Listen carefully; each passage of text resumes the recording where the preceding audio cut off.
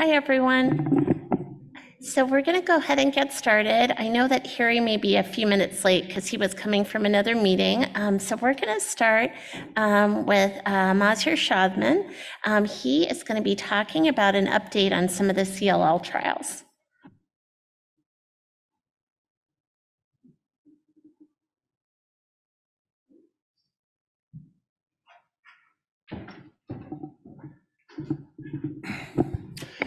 Good morning. Uh, what a great start for the leukemia meeting, starting with CLL. Um, uh, so what I'm uh, hoping to do today to give you a quick update on um, CLL trials that uh, SWOG, ECOG, and Alliance have been running, and also the well, I don't have much to say on the upcoming studies, but um, I have one slide. So just very quickly, um, before we get to the studies, the current treatment landscape for CLL, which is changing very quickly every few months now. Uh, the current standard of care for patients who don't meet the criteria for treatment remains to be watch and wait. And uh, as I will show um, in, a few minutes in our SWOG study, we're trying to see if that should be the case uh, for patients with high-risk disease. For patients who need treatment, now we are uh, uh, we have entered the chemo-free era, and either venetoclax-based therapy or BTK inhibitors are used in the frontline setting. With recent data, there is more um, uh, more data indicating that second-generation BTK inhibitors should be used. Zanubrutinib is not approved for CLL at the moment, but it's part of the NCCN guidelines, and an approval is expected. And the second line, depending on the first line setting, uh, the other class could be used in patients with abnormal p53 mutation, there is um, most agreed that BTK inhibitors should be the treatment of choice. And in the relapse setting, we still have PI3 kinase inhibitors. It may change at least one of the drugs, and it is expected to have some maybe new additions to our treatment landscape uh, uh, in, near future. Um, so with, with, that background, um, I'll start with the SWOG 1925 study. Dr. Debbie Stephens couldn't make it to the meeting. And this is the EVOLVE trial. And the idea here is to see if the current standard of care of watch and wait for patients who don't meet the classic indication criteria for CLL remains to be a reasonable approach in the era of novel agents. With chemotherapy regimens, we uh, were not able to show that early intervention is beneficial to the patients. But the question came back when we entered the novel agents era. One study, at least with ibrutinib, only showed event-free survival, at least with the current follow-up. But the SWOG study is trying to see if venetoclax and obinutuzumab combination would be a reasonable treatment for early interventions in patients with high-risk disease. The way high-risk disease is defined is using the CLL IPI or CLEPI score, and I will have a slide to show the details of the scoring system. Basically, patients who have a score of four or more defined as high risk or very high risk CLL, or if they have complex cytogenetics, they're randomized in a two to one fashion to have early intervention with venetoclax and obinutuzumab with a standard regimen, or they will wait until they meet the criteria for treatment, and then they will receive the same treatment of venetoclax and obinutuzumab.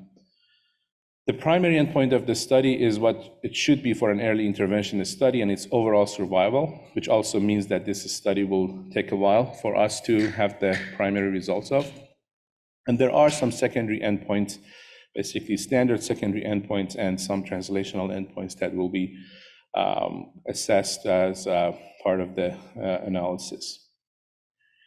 So um, Patients need to be within 12 months of their diagnosis. The reason for this uh, criteria is the fact that you can have a patient with high-risk disease, but if you're if they're doing well for seven years, then their disease is probably not very high risk. So trying to really um, um, exclude patients who, despite the high-risk cytogenetic or molecular features, are still doing well clinically.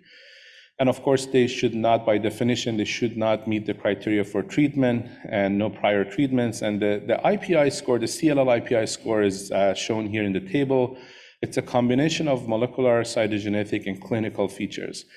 So in patients who have a p53 mutation or deletion, they meet the criteria just by that because they get four from that.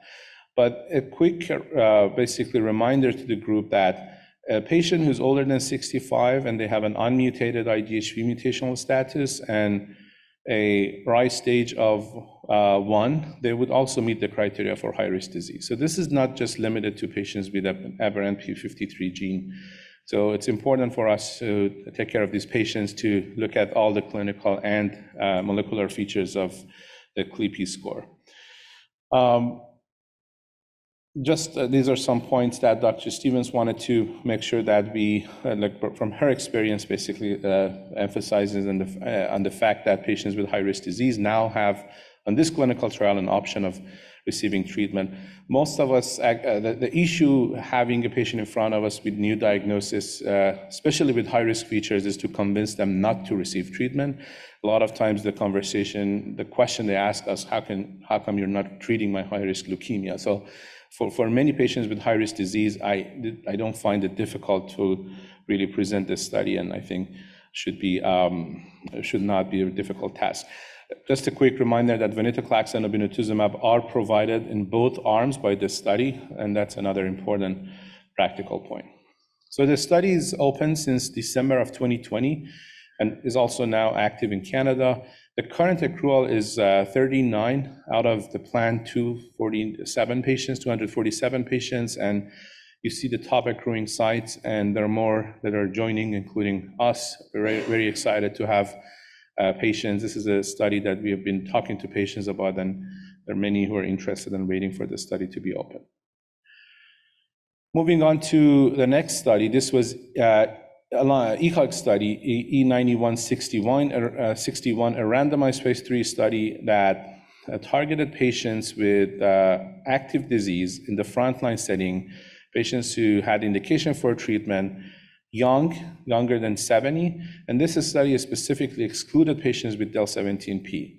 Patients got randomized after stratification by the factors you see there: age, performance status, stage, and presence of del(11q), and they either received ibrutinib and obinutuzumab, with ibrutinib going indefinitely, or a combination of ibrutinib and obinutuzumab plus venetoclax from cycles 3 to 14 with a primary endpoint of PFS. There was no MRD assessment or MRD-guided uh, uh, therapy with this clinical trial.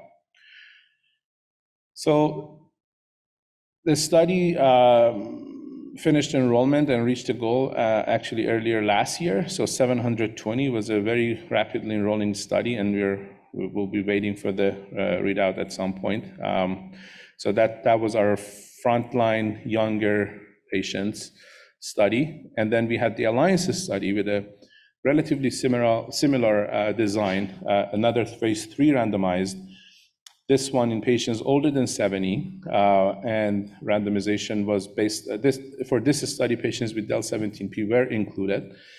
And randomization was again between ibrutinib and obinutuzumab. Regardless of their MRD status, they would continue ibrutinib uh, indefinitely. And patients who were randomized to ibrutinib, obinutuzumab, and venetoclax, similar to the other study, for this arm, Uh, uh, there was an assessment of MRD status, and patients who had detectable MRD would continue ibrutinib, and those who had undetectable MRD would discontinue ibrutinib. So this study's enrollment was a little bit slower than the other one, but it finished enrollment in June of this year. So reached a target of 464. And you see that uh, the number of patients that were enrolled in Alliance, SWOG, and ECOG and NRG are listed there. So basically, currently, both uh, uh, intergroup studies for frontline CLL are closed, meaning that uh, the two groups are working on their upcoming frontline studies. And at SWOG, we are actively working on a concept for relapse refractory setting. Uh, last week, I reached out to Dr. Brown and Dr. Parikh, who will be leading the ECOG and Alliance studies, um, and they don't have anything to share at this point. Uh, all I can say is that they're working on frontline studies using novel agents. We, I was hoping to give you some update on the relapse refractory concept. Unfortunately, we have not been able to get any meaningful confirmation from uh, um, the parties that we've been talking to, companies. So it's an ongoing discussion, which but it would be a combination therapy uh, with novel agents in the relapse setting. So hopefully, we'll be able to provide updates in the future meetings or in our uh, discussions internally in the future. I would be happy to answer any questions on CLL or CLL studies.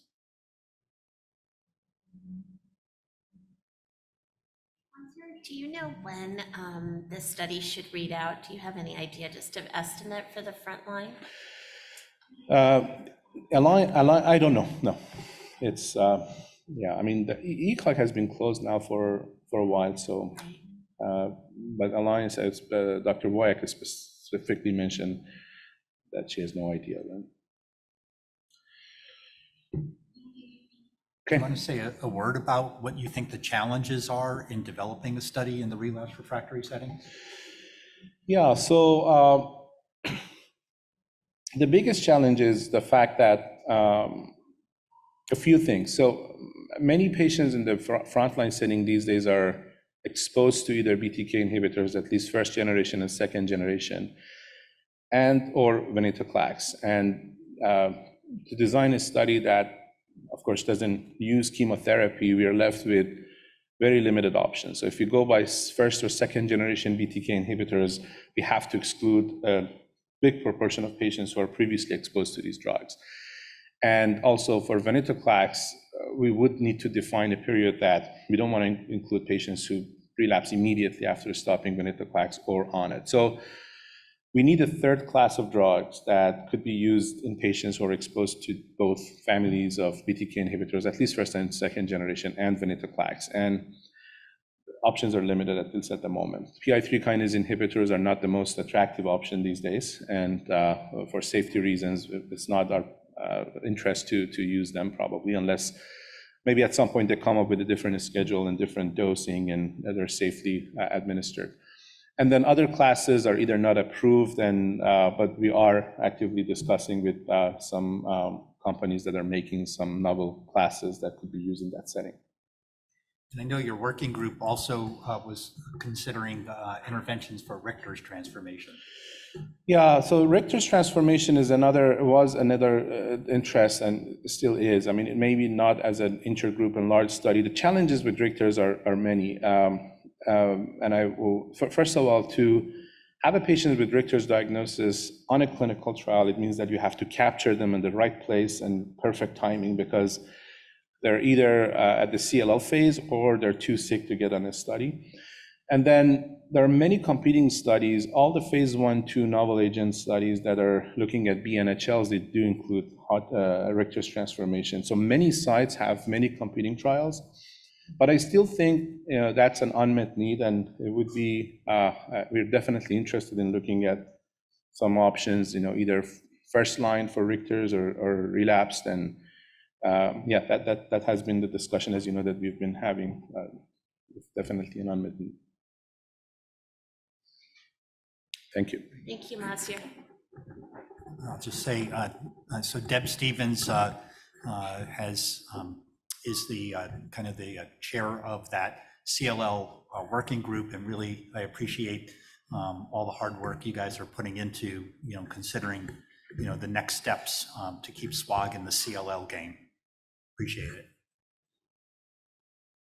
So next, uh, Jerry is going to talk a little bit about MyeloMatch and also um, some updates on CML.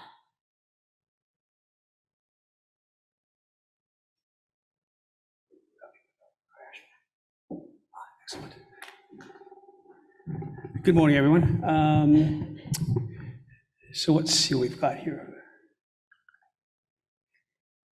Uh, Excellent. So first thing I'm going to do is basically um, get everyone up to speed on the one study that we have in CML. This is actually Kendra's study, but she can't be here.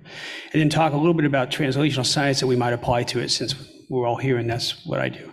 Um, So this is uh, her study, 1712, a randomized phase two trial of TKIs plus Rux and C- uh, chronic phase CML. And this is um, brought from inf- um, data from her um, site and others uh, showing that um, the JAK STAT pathway may be involved in, in many patients with CML and may cooperate with BCR-ABL. So there's some rationale, especially in people who aren't responding well to TKIs, to, to add a Rux inhibitor to try to completely black out that pathway. And so this was a study, you could be on virtually any TKI, you had to be on it for over a year and have a response of at least a, a complete cytogenetic remission. And the idea is if you give Rux, can you push these people down to a deeper response? Um, with the primary endpoint of MR 4.5 at 12 months. That's important because that's the level that if you maintain for a while is associated with being able to discontinue TKIs in the future, with about half patients uh, who achieve a 4.5 log reduction being able to stay off TKIs after discontinuation. And the, then the, basically the uh, follow-up is going to be for another 12 months and then onward down to five years. The status report now is that the plan to enrollment, uh, when she wrote this slide was 77, but they just finished, it was 78th, so this trial was completely enrolled. Um, so well, there wasn't money to do anything interesting on, all, all the PCR was done uh, locally. So the idea is now that we have all these samples and sequential samples, what fun and interesting stuff can we do with them? Um, and so if we can find some money by um, SWOG or NCI or, or maybe a bake sale or two, um, this is some of the stuff we can we can propose. And I haven't shown this stuff before, but it's kind of interesting, and this would be a good group of uh, patients to study this on. So what we're going to be doing is, uh, and I'll show the gene expression and the response stuff and some of the digital PCR work that might be important in using on these patients. Yeah, So- Before you- before you go on, Yes. how much are we talking? Money? Yeah, for, to do those studies. And I mean, we got How, enough how, people. here. how, how much you got? Well, I heard the Hope Foundation. um, is So, for uh, trials. bu-bu-bu-bu-bum, 70 something, 80 patients. Uh, You could probably do it for $100,000. It Sounds like we should go to the Yeah. Hope Foundation for, Yeah. for this. Yeah. Okay. But more importantly. my wallet away then. Yeah, yes. You don't, you don't, you- don't bring up money to a sequencer that. Um, So um, let's talk about, about why you would want to do this, okay? So one of the things that, that we're always very interested in is why do people respond well and why do they, people respond poorly? And so in, in our lab, we approach this by looking at outliers, um, take the best responders, take the worst responders, do your genetics on those, because if you don't find a biological signal in those two groups, you'll never find it in everything else. And so what we've done here is looking at patients who get either a poor response to tyrosine kinases or get a great response. And then those were defined by the criteria shown in the good and poor responders there. And these were from patients from the ENESTnd trial, which was a randomization between nilotinib and imatinib. And the first thing you see is that um, the red are the poor responders and the blue are the good responders, that when you make these criteria by the, by the six and 12 month mark, those glide paths are maintained for up to 10 years. So you can really see, you don't see very much mixing of those blue and red signals at all over time, which means your kind of your genetic destiny is, is pretty sighted early on. And so the first thing we did was RNA-seq. This was all done on diagnostic samples before they get a whiff of a TKI. And we ask, what predicts um, overall response? And if you look at gene expression and look at differential gene expression, you find that the uh, area under the curve there is about 0.8 roughly. Um, if you look at the clinical variables that we look at, that we think, you know, so-called score, all this stuff that people use, uh, it's basically a flip of the coin. And if you add clinical data to gene expression, it doesn't really do anything at all. So gene expression global signature seems to, to decide which category you fall into. And then this is where it really gets fun. You can start looking at good responder genes and poor responder genes. And if you look at the good responder genes at diagnosis, all the top 10, which are on the left, those are all associated with the immune response. So th- prior to starting therapy, people who respond well have, a, have their immune system jacked up. Poor responders are associated with basically overexpression of metabolism genes and cell cycles, which makes some sense, right? And then this is a pathway analysis, and this is kind of hard to see, but gene enrichment pathway. But um, the p-values on the top ones are like 10 to the, the y-axis, or the, uh, uh, I mean, on the bottom is um, the p-value. So you can see the top pathway is p minus 100 and something, so it's probably significant. Um, and so of the 20 pathways that are involved, pathways, all 20 of them are involved in the immune system which to me is kind of mind-boggling. That that so what what it means is that you know we've always seen this dichotomous uh, curve when people get their BCR-ABL. Goes down fast and goes slow. And there's all been sort of kind of hand waving stuff about cells coming in a cycle and not. But what this might be actually is that you have the people who are going to respond have their immune system jacked up. But it's kind of like wildebeests and, and lions, right? If the wildebeests proliferate fast enough, the lions can't eat anything. And so the tyrosine kinases start killing off the wildebeest until you get to a point where the immune system can mop up. So you have the initial killing of the TKI and then kind of the mop up in the good responders. And this is kind of showing a regulatory network. So what you can do is you can take those gene expression signatures and then you can look at, at um, transcription factors that are deregulated between the two. And then you look at the genes that are involved in those uh, transcription factors. These are called regulons. And when you do that, you can, you can make people through a network there about passing tests by certain regulons in expression. And you get to a point where you're, you can get to an odds ratio of predicting good responders and bad responders of about 10 which is a pretty good odds ratio in this kind of work. Um, all the gene regulators that are involved are, are, are again, immune response regulated, uh, interferons, um, interferon alpha, et cetera. So I think that this, we're probably on to something about how we can, can look at this. And so this will be what we, the work we're going to be doing is trying to see if we, the same kind of immune signature is captured um, at diagnosis in, in Kendra samples. The other thing we want to do, because the idea will be eventually is to put these people on a discontinuation trial is to better predict who can be discontinued or not because you obviously don't want to discontinue someone if you know they're going to relapse because as soon as they're off tyrosine kinase their risk of potentially developing a accelerated phase of blast crisis is high since they're not exposed to a drug right? And i have to remind everyone that cml is a really really weird thing as far as latent period um, the Japanese continue to follow Hiroshima and Nagasaki survivors. The last time they did about five years ago, there were still people who were exposed to that. There's still an excess of CML compared to controls, like 70 years after the exposure.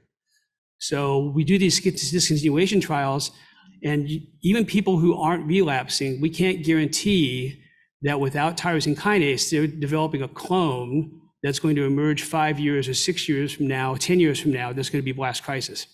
So I think that, that, that all these discontinuations are fraught with that possibility, right?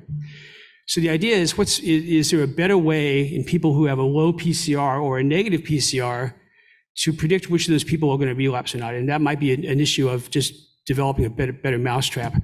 And so in PCR, you, you know, you're dealing with, like everything else in the world, um, signal to noise, right? And so it's really kind of amazing that PCR ever works because you're trying to, target this specific molecule and you have backgrounds of tens of thousands, hundreds of thousands of other molecules, right?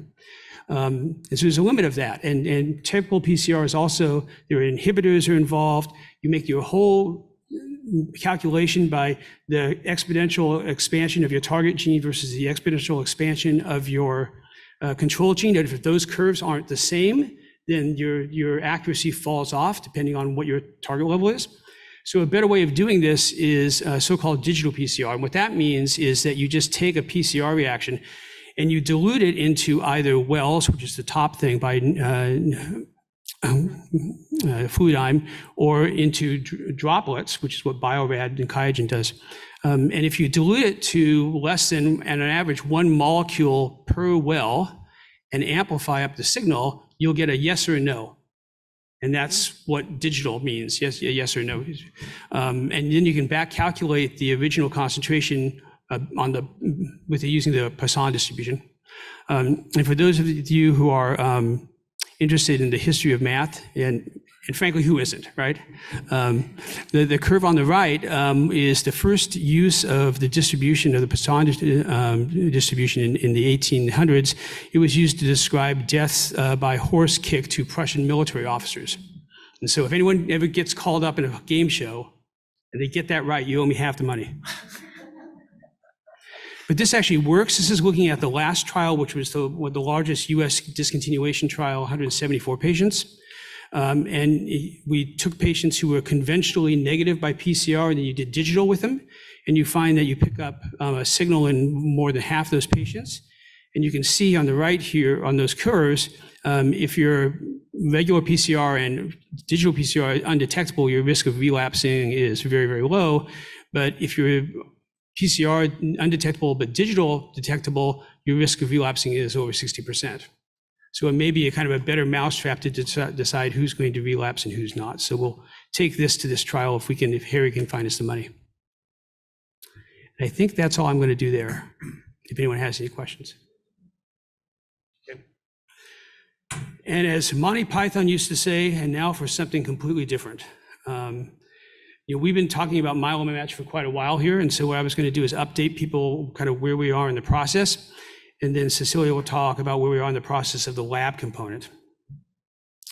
So the first thing here, my life in MyeloMatch. Um, so I, with one of the co-directors of the laboratory section. Um, and so in the evolution of deciding how this is going to be done, how we're going to petitioning off samples to various places and the like, um, because it was a lot of money, the government financing uh, group called Leidos was involved in distributing the money. And so this was a very secretive process. I mean, it was, if they would, they, they wouldn't say what criteria they're going to use to pick labs. Uh, when we had discussions, we couldn't name labs by name. You had to kind of like do gestures, you know, like lab, West Coast, you know. Um, and and they went away, and then they kind of mysteriously, you know, come with a clay tablet and drop it on someone's lap about do they want the contract or not. Um, because I was so involved, um, I've accused ourselves from doing this because I thought that would be a conflict of interest. Um, alas, that didn't work, and they dropped the contract on us. Um, and so this is not um, the usual career arc that I thought I would be doing. Is, is doing many government contracts, which is, a, is a, an art that I really don't recommend that anyone take up. Um, and then um, because no one else could want to do it, I uh, was responsible for doing the master screening interview assessment protocol. And th- this quote, um, I think, is very valuable for many parts of our life. No good deed will go unpunished. Um, many people ascribe that to Oscar Wilde, although most historians who do that actually um, ascribe it to him about three decades after he actually died. So I think that's probably pretty unlikely. Um, but I know that it was actually in the Treasure of Sierra Madre because that's where I heard it first. So that kind of describes what this, some of the stuff I'll be talking about here. Just remind everyone, general principles of MyeloMatch. It's going to be a genetic-driven protocol assignments by cytogenetics and mutations. They're predominantly phase two uh, trials with predominantly MRD endpoints, first by flow cytometry and later maybe by some other technology, which I'll describe a little bit. And this is sort of kind of what the master screening reassessment protocols will do. Um, and these are the primary and secondary objectives that Megan uh, filled out. And the idea on the right is uh, you get enrolled. We do rapid genetic testing within two to three days. Um, if there are a marker for your particular mutations, if it's, it's FLT3 mutation, you go on a TKI trial, um, you would get reassessed throughout, or assessed, depending on what your language is, um, throughout the trial. And at the time at the end of the trial, if you you know, have MRD possible, you would go to potential so-called eraser trials. If you're negative, you could be followed. And you'd be reassessed each time because, as you know, clonal heterogeneity, like mutations come and go, and you, you basically have to get reassessed to see what things you would line up for. Um, I'm happy to say that after a long process, this has been approved, at least in its current form. And what it does is it consents for pretreatment assays to be formed. It's sort of like a portal. Um, it consents people for treatment reassessment assays. Um, and provides again the portal for the MDNet algorithm, which is basically going to be data will go into a black box that David Patton's filling out, and it will spit out what protocol you're going to go on. Um, it doesn't dictate when treatment specific assessments are performed because that's going to be dependent on what regimen you're on. Right, so the MDNet can't possibly come up with all the different time points that the individual protocols have to specify. And here's the proposed menu of testing in integral or integrated phase. At diagnosis, we'll be getting cytogenetics, FISH, CTAG, flow cytometry, and uh, Cecilia will talk about the rapid um, molecular testing we can do. MRD assessment will be done by flow cytometry. Um, we will talk about duplex sequencing as possibly being the next step in this. And we'll be doing studies that are in integrated studies looking at clonal heterogeneity and single cell stuff. This kind of shows how the uh, samples are spirited away and sent to a few labs. Um, this is going to be done originally when we set this up. Brent, and probably one of the reasons Leidos picked us was that Brent was at the Fred Hutch He's now moved on to children, so that's a little bit of a logistical issue. Um, We will be splitting the genetic testing with um, the Fredericks Lab at the NCI. They'll work Monday to Thursday, we'll work the rest of the time because we work at the weekends and the government can't work the weekends. And then samples will be sent um, to Minfang for rapid cytogenetics.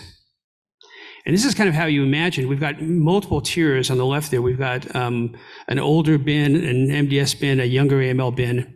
You'll have multiple stu- studies. You'll go through them, you'll get reassessed. If you have positive flow, you'll be put on eraser as trials. Um, At the end of that, you can get reassessed for either transplantation-driven tr- trials or CAR T trials. And then we'll talk about, at the end of that, doing um, duplex sequencing to look at specific mutations to kind of, to try to do um, basically targeted therapy at MRD after all that. Now, this is something I try to get David Patton to, to do. Um, I don't know how successful I will be at that, but I can imagine that as people walk through tiers, tiers and stuff, we're going to have to have some kind of nice system where you can get a snapshot of what all has gone on, right? And so I think this is, I've talked to people who code, this can be do, done. As you can imagine, you can see a, sc- this would be your screenshot. You would have the calendar time and actual dates. You'd have for each assessment, a summary of what the results are.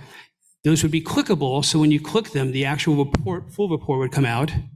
Um, and then as you go to, for instance, to protocol one, uh, protocol X and tier one, you can click on that and get downloaded the whole protocol. So these will all be basically a summary of your voyage through the, all of these tiers. And you could quickly expand on it to get more and more information.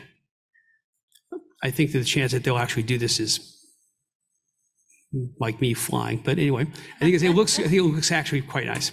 Um, the methodology side of genetics will go to Minfang, Flow, Brent will do, um, and I- and we will do the, the next generation sequencing. So this is just an example of why we think MRD is an important thing to look at. Um, This is a meta-analysis looking at patients who are MRD positive and negative. I think the important thing to remember here is that while MDRD is, is very positive, it's not nearly good enough to be a surrogacy because what you want to do is pull those two curves apart, right?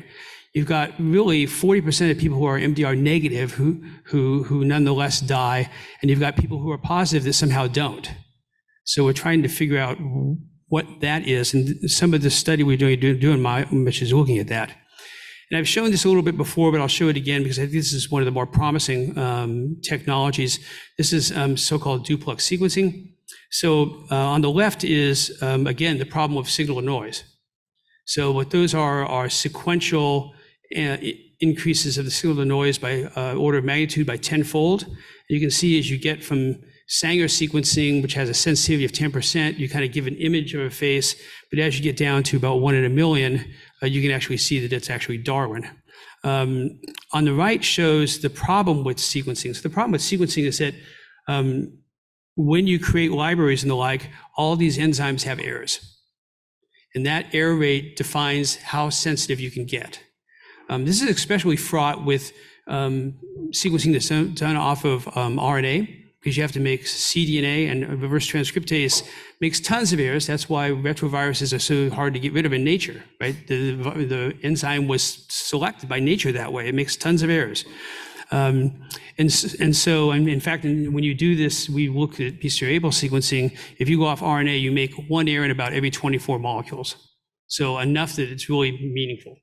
Um, so in the top right there, that this is looking at a patient with uh, BCR-ABL. We know they have a mutation. And so if you look basically by standard sequencing and you look there carefully, it goes down to about 1%. And that's about the, the lowest threshold you can get with standard sequencing because you make an error about one in a hundred, one in a thousand base pair calls. Um, but what duplex sequencing does, and it's like some similar error correction methods, it actually makes um, template off both strands. And so then your theoretical error goes from one to the minus three. If you make, only make a mutation call at the identical mutation and at a complementary base pair, right, your theoretical sensitivity is 10 to the minus three times 10 to the minus three times the interaction of the four base pairs, which gives you a theoretical sensitivity about one in 10 to the seventh. So below is looking at that same sequence with duplex sequencing, which shows the 359 mutation and basically gets rid of all the noise. And this is a sample, uh, a study that we did with SWOG uh, samples, and Megan helped out with this. This is looking at patients where we had Brent Wood's flow cytometry, which is going to be what we used in the MyeloMatch to begin with, and we did duplex sequencing on their, their CR standards. And the two-by-two table is the most thing to look at. Um, When I was a grad student in epidemiology, my mentor used to say that almost virtually all of life's experiences can be put in a two-by-two table. That's actually pretty true, actually, if you try it. Um, What you find there is that you get a concordance rate of being flow positive, MR, uh, duplex sequencing positive or negative negative of roughly 70%, but about 25% are negative by flow but positive by duplex sequencing. And of those discordant cases, 15 of them, nine of them relapsed. So it probably means something.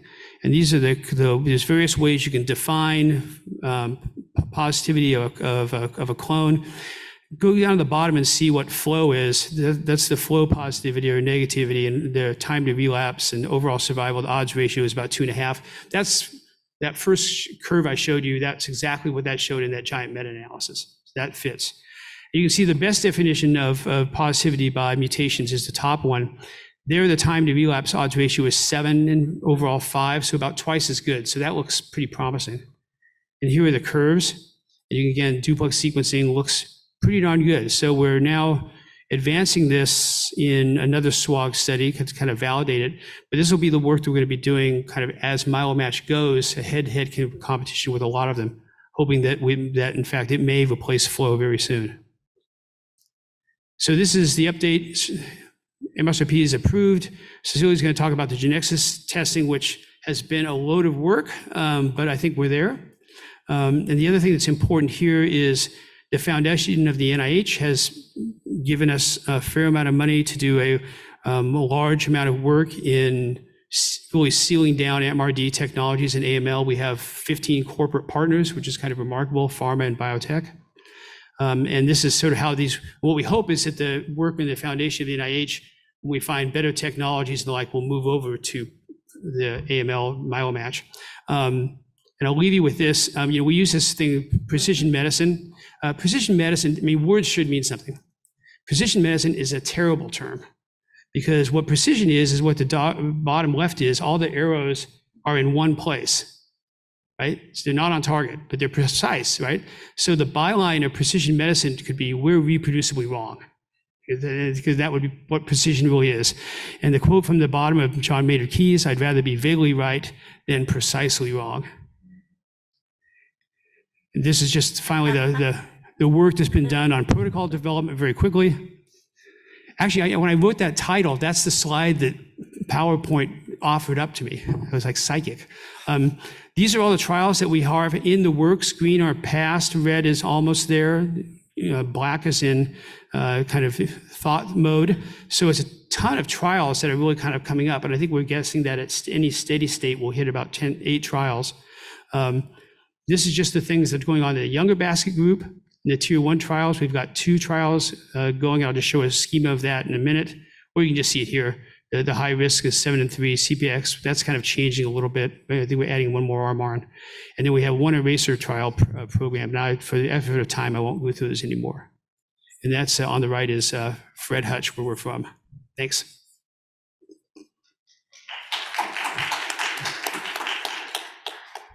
Questions before Cecilia shows you more data than you can imagine?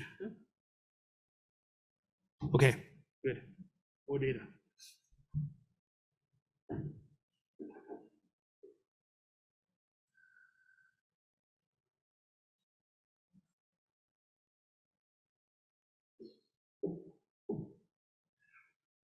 All right, so uh, if you can load the slides for Cecilia Young.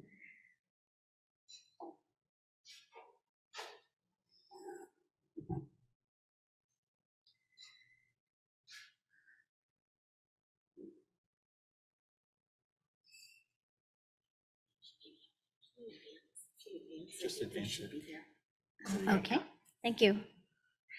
All right, so one of the first things that um, Jerry did teach me was uh, no good deed goes unpunished. Thank you. Uh, So I'm going to be talking uh, about the correlative sciences and the data that we have been doing for the validation of the next generation sequencing assay for MyeloMatch, as well as some of the work that we'll be doing for the duplex sequencing. So these are the current trials that we have in our central lab for SWOG. And starting with the uh, slide that Jerry covered, and specifically, we're going to be talking in this first part about the um, myeloid assay.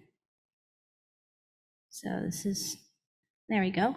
And the main difference and what's allowing us to be able to have this really rapid three-day turnaround time um, that's different from most next-generation sequencing assay that's currently at most of your centers probably, is that the platform that is being used is the Genexus instrument.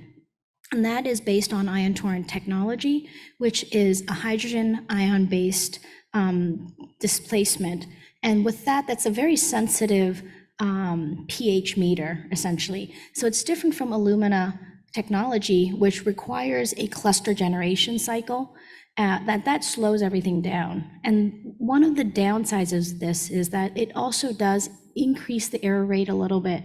And so it went through a very rigorous feasibility and testing um, um, time period between us and the MoCha laboratory, which is what I'm going to cover today.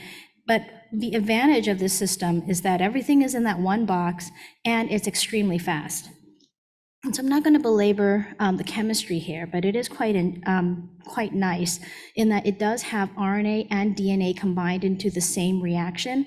The RNA goes through a reverse transcription step right before um, target amplification and library preparation all in one reaction. And what happens is in the bottom here, and I, do I have a pointer? I don't have a pointer. Okay, so on the very bottom bar there, what you can see is that the library preparation time is about 11 hours, and it goes directly from there into templating and then sequencing. So all that happens over about 20 hours on the instrument. And at the same time, once it starts sequencing, which is the little light blue area, it can actually start analyzing the data right away.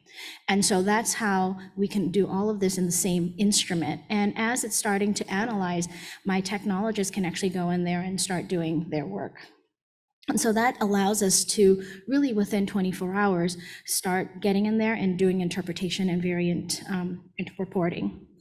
And so the panel that you're seeing here is actually version two, which is an improved panel and a little bit expanded. The green um, genes that are listed both in the DNA and RNA are the additions. You'll see that there are, in addition to the fusion on the RNA panels, there are a couple of expression genes here, which we actually have not validated at this point. And so that is um, upcoming things that we can actually utilize. So if there are treatments that can utilize expression, that can be added. So this currently we have validated for about 1600 DNA hotspots as well as 800 RNA fusions. Over all of these, this covers about 93% of AML hotspots in that occurs at about 3% frequency and 72 of variants that occurs about 1% frequency. So it's a fairly comprehensive, it's not everything, but it's a very comprehensive um, panel. So now I'm going to go into the, what we have done for feasibility and setting quality thresholds and also the harmonization experiments. So this is not to scare you or anything. This is really just to tell you that there are going to be areas that we're not going to be able to diagnose based on the ion torrent. And these are primarily homopolymer regions and regions that we know um, are problematic for this platform. But there are very robust um, thresholds that we're setting to make sure that this is reproducible and solid in performance. So for feasibility and um, harmonization studies, this is performed with the NCI MoCha laboratory to make sure we, both laboratories are doing the same thing and reporting similarly. This was performed over, uh, over a thousand samples have undergone this type of testing. And um, our quality metrics passed over 98% on samples. Um, And you see here, um, the blue dots and the red dots are uh, what the performance metrics on the two laboratories, and we were pretty spot on with each other, so pretty happy about that. This is based off of version one data, and what this informed us was there were some low-performing amplicons, and I do have to give kudos to Thermos, because when we went back to them and said, hey, you have a bunch of low-performing amplicons, they went back and they redid their chemistry, and so they fixed a lot of these areas in version two, so they're no longer low-performing. And so with the version one, the sensitivity was already at 99% and specificity was at 100% at this time. Our limit of detection, um, we figured out was less than 1% actually for single nucleotide variants, 3% in for indels, and really fusions, we can go down to 20 read counts. So that's pretty good for our next generation sequencing assay, and we were pretty happy with this. Reproducibility between our laboratories were 99.4%. That's phenomenal in terms of performance. Um, And our concordance rates, and this was on a limited number of samples initially, was pretty good um, at 100%. So ongoing, one of the things that we were worried about specifically for FLT3 ITD. Now, um, our MO laboratory has been doing this for over 20 years. This we've been doing this before Jerry brought me on board as medical director. And we went back. Um, the reason why we were worried about ITD, as, as many of you know, they go beyond 300 base pairs. And next generation sequencing has an amplicon size limit of about 120 base pairs in most platforms. And so we were worried that we weren't able to detect all of the ITDs. We went back into our archives and really did a- an assessment of how big and how many we might be missing. And so over about 401 cases from our archives, about 6% ended up being large, really big. And so we really try to challenge the system. We really try to break the, the Thermo assay. And so we took 69 samples. Um, these ranged in size from 3 to 351 base pairs. They had multiple ITD peaks because that was the other thing we were worried about, that it wasn't able, the assay wasn't able to detect everything. And also allelic ratios from super low down at 0.0007 all the way up high to see if, you know, we could essentially really break the assay. And this was done over 19 runs. And actually, um, it did miss three calls. These were all the super low ones below um, our threshold of call, which is okay. And then it was not able to detect ITDs that were beyond 117 base pair. So that does tell us that we are going to be missing some of the larger ITDs. Um, The detectable range we had um, determined was around 21 to 117 base pairs based off, off of this study. However, there is a cell line, uh, PL21, that we've been re- repeatedly able to detect that has a ITD at a 126. So we're setting our threshold for the assay at about 126 base pairs. So that is one limitation of the assay that we discovered on the feasibility studies. The ITDs we can detect is only up to about 120 base pairs. Um, So then we moved into the validation studies next. And so in validating the assay, um, a summary of the quality uh, metrics, you know, we only had three samples really fail. However, one of the samples ended up being our positive control that we run with every single run. We ended up having to fail the entire run and repeating that. These end up being internal issues with the instrument, which Thermo worked with us and, you know, ended up um, fixing that. So there's a small chance of failure on the samples, but I think we should be okay. So um, the next thing that would be important to you is what we use to validate the assay. And here, you know, just demonstrating that we did um, do a very thorough job of validating on samples that would recapitulate what um, AMLs would be coming through. And so we used a very um, big and robust, thorough validation set, um, 84 samples for sensitivity and 33 samples for specificity. And these comprise both patient samples as well as cell lines and commercial samples. The fusion genes um, are represented here, and they include the breadth of the different fusion genes we expect to see. And then the variants that are covered will include uh, a lot of the trials that Jerry has mentioned already, um, and and including a number of other AMLs that we expect to see. And so a very wide range of mutations that we expect to see. And so this is pretty preliminary data, but the overall sensitivity um, in a nutshell is 99.5.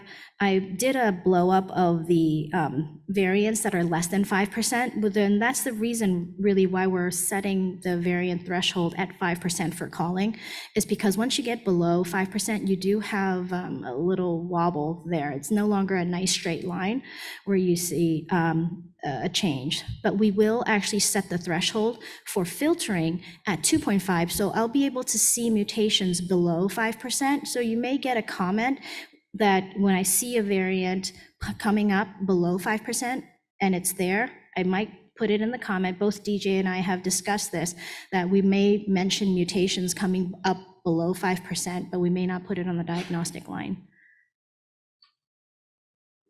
For specificity, these are on the 33, um, and I put normal in quotation marks as, you know, nothing's ever truly normal in our, in our group, right? Um, And so that came up on, in six samples, seven detectable variants. These were orthogonally confirmed in both of our um, laboratories. We both detected it. And these we determined were either variants of uncertain significance. So really, we don't know um, what it is. They're not pathogenic or likely even oncogenic. And so these were either chip clones or VUSs, and these are considered true positives, but really what their significance in their biology is uncertain. And these were um, considered 100% specific, specific at this point. And for reproducibility data, um, for the SNV and indels, I'm pretty happy with this. With the fusion reads, there is one uh, fusion which has a little wobble in it where we're keeping a close eye. However, it's well above the 20,000 threshold for call. So it would be, um, all of these would be a yes. It is, there, the fusion is present. It's just the read count is a little wobbly. And for terms of the data analysis, informatic, and LIMS, this is where we're at now at the validation. We're pretty much done with the wet bench validation. The data analysis, informatics, and LIMS, we just finished our bridging study, and that looks pretty good, except for a few TP53 VUSs that popped out. Um, but we we see it. We can compensate for that. And then the rest of it is really working with uh, Matchbox and MDNet on getting our LIMS and, and things like that worked out. And so our validation um, at this point is, is really the computer and bioinformatics, although that is going to be a ton of work in the next couple of months. And so our conclusion, we're making great progress on the assay validation. Um, It has good sense, this assay has great sensitivity and specificity. It's very reproducible between the two laboratories. Our limit of detection is going to be set at 5%, although we can see things down to about 2.5%. We have a few blacklisted regions and then also some regions that will require a higher threshold um, um, to be set. And then a little bit more work is ongoing with the informatics and the data analysis section. And then this last portion I'm going to be talking about is um, the uh, duplex sequencing and the twin strand assay. For this, we are actually going to be, um, the molecular oncology laboratory is uh, going to be involved as the backup laboratory. And a little bit about the technology. Duplex sequencing eliminates technical noise, and that's how it's able to get the um, error rates really low. So in this system, it's tagging basically both strands of the DNA.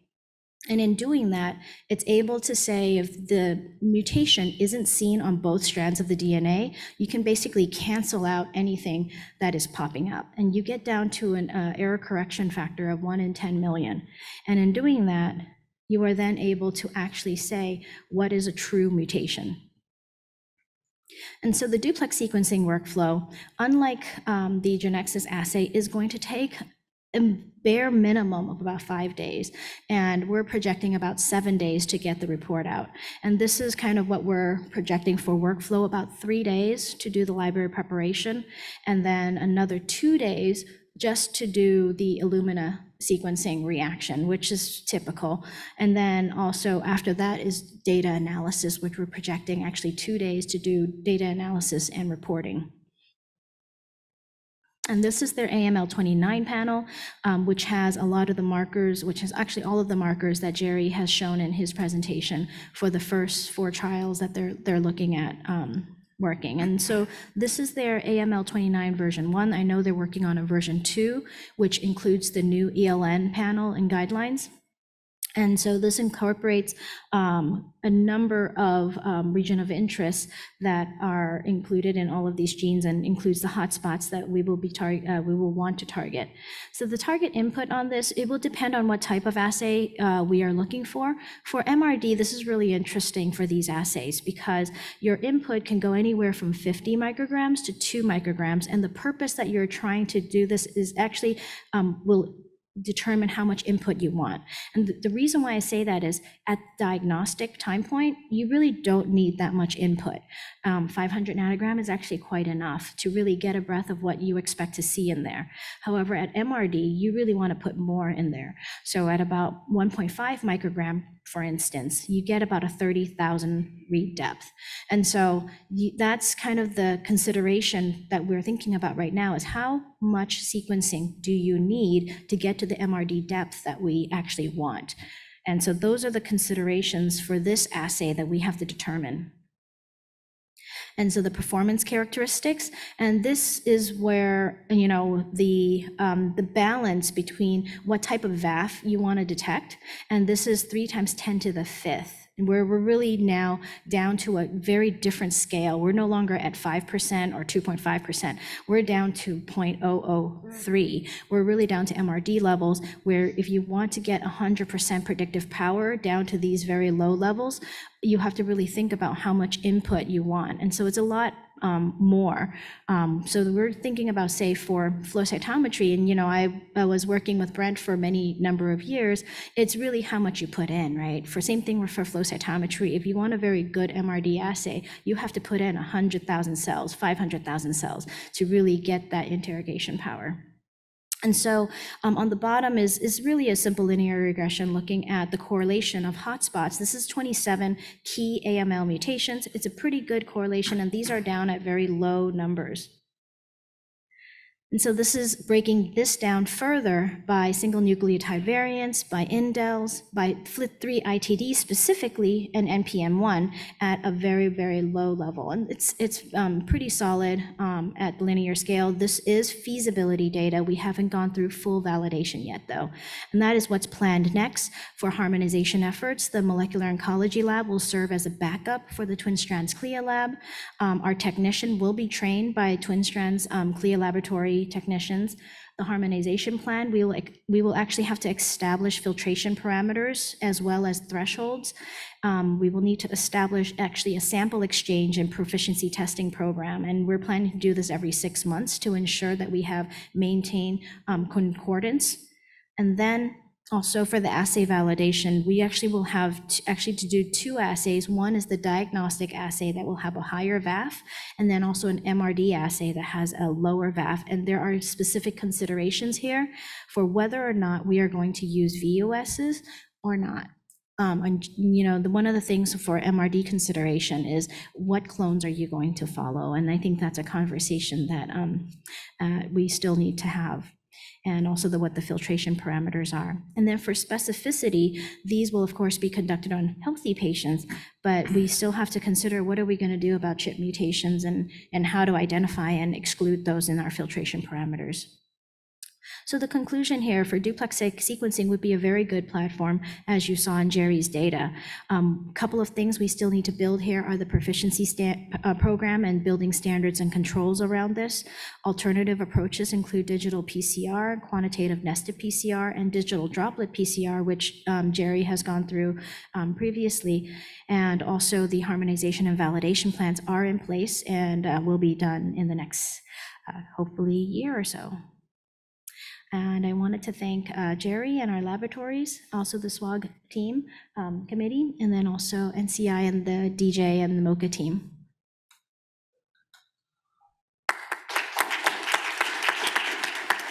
Any questions? That's amazing. I- I mean, without the work that you've done, MyeloMatch wouldn't even be possible. Um, So thank you for being punished by us. Um, But you were, up to it with Megan's help and, and uh, Anna's and stats, and it's just amazing. I, have a question. Uh, You know, one thing that often comes up um, on, my patients is, you know at baseline, they have a certain variant um, present, and then you do a next-gen panel afterwards, and it does, it can't get reported, but the pathologist says, but if I look for it, I could find it.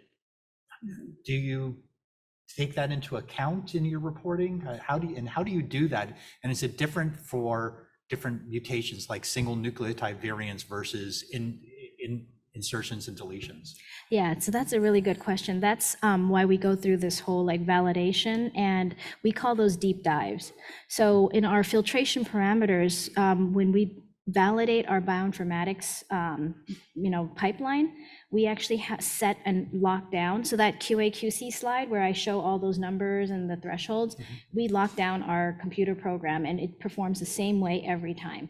Now, what your pathologist does is they probably go in and do a deep dive. They take off all the filtration parameters and say, oh, it's in there, but it doesn't make it through that lockdown criteria, so we're not supposed to report it. Um, and so that's one of the challenges if you want a reproducible assay is you're supposed to lock it down and not report anything that doesn't make it through. Um, but you do see it in there. And so that's that's kind of, you know, you're damned if you do, you're damned if you don't, right? And so, you know, in trying to make it robust and reproducible every single time, you do end up doing that. And so I oftentimes, when I do do it, um, you know, it depends on your, your laboratory's SOP. If you write it in there that if you've seen a past variant and you're supposed to go in and do a deep dive, some pathologists will actually write it in the comment. Yeah. That it's there, but it's at super, super low levels. And that's what we get as well. Cecilia, that was great. Thank you. Two questions for you. One is um, with ASXL1, any thoughts about how to deal with that? And the second question, and this may be uh, partly for Harry as well. So in terms of the trials and kind of the um, different uh, schema, how are, is there going to be a specific VAF cutoff or how is that going to work? So I assume when you um, ask about ASXL1, you're talking about the 646 region specifically. And um, for the audience, if you're not familiar with that, the 646 was a, was a very hot topic. Um, the reason being the 646 region has a string of eight Gs. And so it's a homopolymer region that is a particular challenge for ion torrent um, because of the hydrogen ions and um, how they come off when you do the reaction. Ion Torrent basically has, um, Thermo Fisher basically says, we're not even going to try to call it. And so they took it off. Um, whereas Illumina will still try to call it. And the way Illumina works is you have to set a higher threshold. Like the true, um, the, the true incidence in AML, it's only about, I think, 5%. In MDS, it's like 14%. However, in Illumina data, at least in, in our laboratory, it's like 40% of these cases have it, unless you set a higher threshold. I think of, I think we set like 10% before we actually call it. And so that's what most laboratories do. They just set a higher, you know, threshold to call. However, for this particular assay, through our validation, we just blacklisted it. We're not going to call 646. And it's one variant. Unfortunately, we're not going to be able to do that. And I don't think at this point we have an alternative method. There are PCR assays and there are Sanger sequencing assays that can detect it. Um, You know, if that variant does become important in a specific clinical trial or treatment, we can do that. And so that is possible. Now, that's your first question. Your second one is for your clinical trial, changing and, and altering VAFs, um, was your question? Okay, um, so we can look at that. As, as you see, there is, um, there are other things that we can do um, in the assay, but it would require kind of a, a deeper look at the specific marker. And like I said, there's, for instance, the expression genes. We haven't quite looked at that yet. And we haven't worked on what those can do. The, the whole issue with the, the va, you know, what VAF are you going to, um, very, you know, frequency are you going to allow is complicated by the fact that these marrows are being done at sites. You don't know really which sample you're getting, how much hemodilution, how many blasts are in there, and if the mutation you're even looking at is a marker of a, you know, stem cell, uh, like an MDS clone, or if it's a true marker of just the blast population. Like, yeah, I- there, there wasn't a question there, was there? Uh, You know, I mean, how are we going to deal with it? Yeah, that's. Oh, okay, we're going to somehow, that's what the matchbox is, right? Is that what the bioinformatics is gonna try to deal with? Yeah. Should we see if anyone has questions online? I just realized. And I don't see any in the chat. Yes. All right. Okay, thank you. Thank you. So I think next, um, Min Fang, is she online is gonna Yeah. be, oh, there we go. Hi, So- Min. Hi, hi everyone. Sorry I can't be at Seattle. Um, uh, sorry, uh, in Chicago. I'd much prefer to be in Chicago because this past week, the or the past two weeks, the terrible air quality is in um, Seattle with the wildfire. Finally, the rain returned yesterday, so hopefully we'll get some relief. yeah, and I miss seeing you guys as well. Um, can I share screen myself? Um, because I uh, have updated the slides. Yes, Okay, all right. So let's see. Um, please let me know if you see it in presentation mode. Yep, I I have can see it. Looks good. Oh, good. Okay. Yes. All right. Thank you. So yeah, so I wanted to basically talk a little bit about the cytogenetic testing, the rapid approach, and um, some of the new technologies that we're considering as well. Um, yes. so as you guys know that, oops, why is it not forwarding? Okay, it is. Oh. All right. So yeah, so as you guys know, the cytogenetics karyotyping analysis remains the uh, the gold standard for leukemia diagnosis.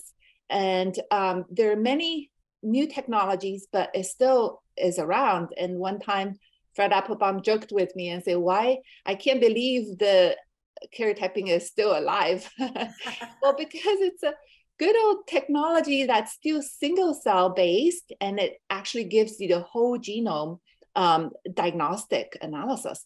And you have the results of not only um, copy number gains and losses, but also all kinds of uh, structural rearrangements that you can visibly see. So it's, it, of course, it's low resolution, it has its limitations.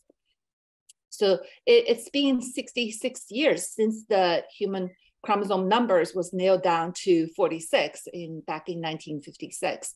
And just a very quick, you know, timeline about some of the major technologies for clinical fish was uh, initially uh, implemented in 1981, although the technology was introduced in the 70s. And then um, array technologies uh, initially was called um, comparative genome hybridization, was used um, clinically in the early 2000s, like the BAC CGH arrays were the first kind. But now today, what's being used in the clinic are really the uh, oligo and uh, SNP arrays, SNP arrays, because it gives you additional information. Um, NGS was introduced um, to clinical practice in 2008. Now, of course, it's widely used. So at Fred Hutch and UW, we introduced um, the chromosome genomic array testing, uh, which we abbreviated as CGAT, uh, clinically in 2012. It's been 10 years. Um, NGS was used clinically in 2014. And a few years ago in 2020, we also launched the RNA-based NGS testing for fusion detection, similar to the Genexus um, panel that discussed, uh, Cecilia just discussed about. So at our institution, when Brent Wood was still here, we together um, developed this called pathway testing for a using a reflex approach that is most efficient and most effective and appropriate for a patient uh, in a timely fashion. So we'll, we've used this for many years already. So we basically have uh, morphology, flow cytometry, and uh, karyotype analysis as first tier testing. Then depending on the results, we'll reflex to necessary uh, PCR, FISH, uh, CGAT testing, and NGS. So when we started to consider the um, the, the um, testing for MyeloMatch, we used similar approaches as we we're doing at the at our institution. So here's an example of our current practice at Fred Hutch, AML rapid diagnosis um, a diagnosis pathway strategy for acute leukemia. So if the flow and morphology indicates a my, myeloid lineage for AML diagnosis, we, um, you know, first line testing karyotype, we do a 24 to 48 hour quick turnaround time. And um, APO will be done um, uh, uh, fish to exclude, um, to rule out APL. So done within 24 hours. And then the remaining, um, so testing, if karyotype is normal, then we reflex to balance fish panel along with CGAT um, testing. And then um, also some key uh, PCR testings. Mm, In recent years, we consistently have the NGS panel uh, um, automatically as well as the um, pretty much over here. Um, so, and if its karyotype is abnormal, uh, if it is intermediate risk with without uh, like we, will reflex to CGAT also and to see if there's NPCR to see if there's additional abnormalities that might alter the risk.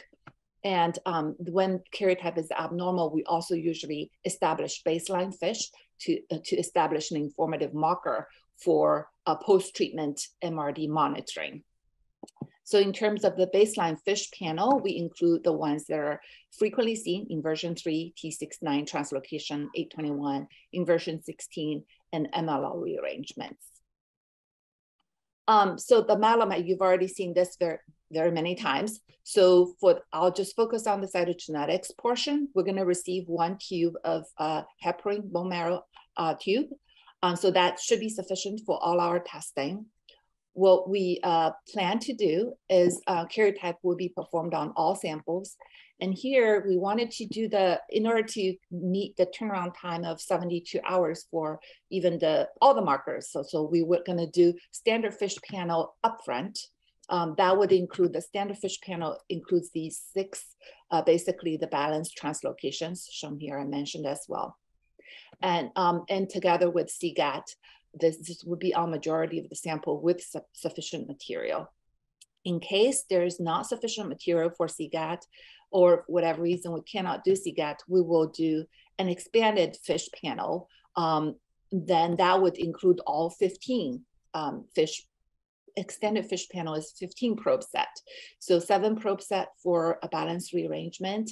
And um, then with the addition of, you know, the common myeloid probes, chromosome 5, 7, 8, 20, uh, and uh, with TP53, ETV6, that's the 12P, and RUNX1, NUP96, uh, 98.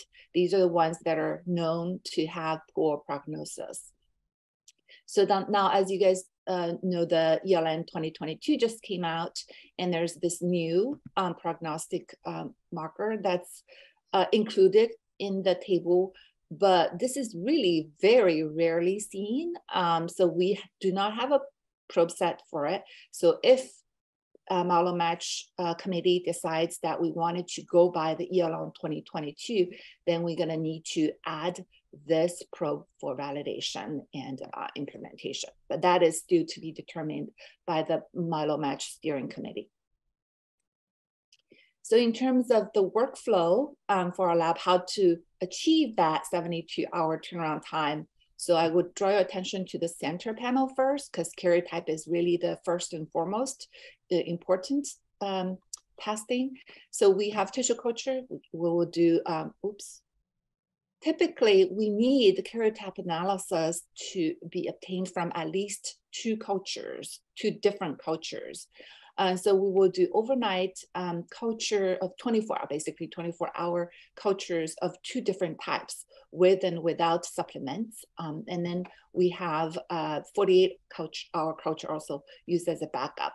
Then on the day two, we'll be able to harvest those slides and prep for metaphase check. Uh, and if for from these two cultures of the 24 hour cultures, if we have sufficient metaphase for analysis, we'll be able to complete the analysis on day, day two.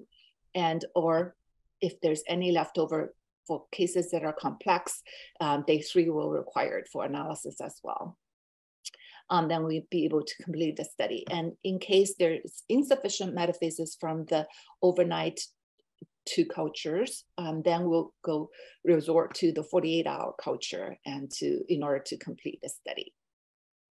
So that then on from the fish side, so we will basically do immediate um, before culture, uncultured sample, make slides um, to hybridize overnight.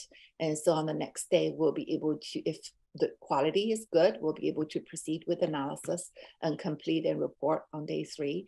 And if the quality is not good, we will resort to um, hybridization on cultured specimens you know, from the karyotype analysis and be able to finish the study um, day three as well. So that's how we can finish um, these studies within 72 hours.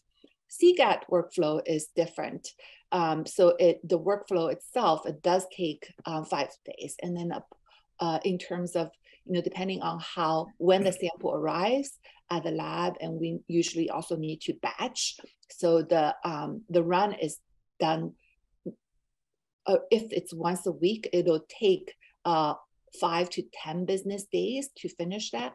But now we have already redesigned the workflow to do two runs per week. Um, and we're able to shorten the turnaround time uh, to, you know, if it's perfect, perfect thing, it'll be like four to five days.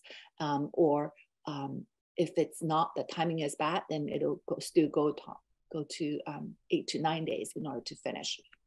On the other hand, the key uh, risk stratification tool is really based on karyotype and FISH results. Um, CGAT will be a nice addition.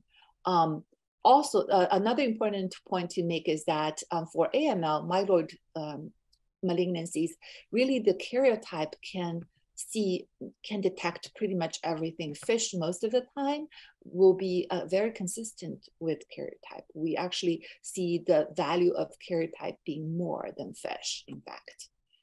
Um, there's publication for that. So um, here I wanted to show you the 2022 ELN risk classification.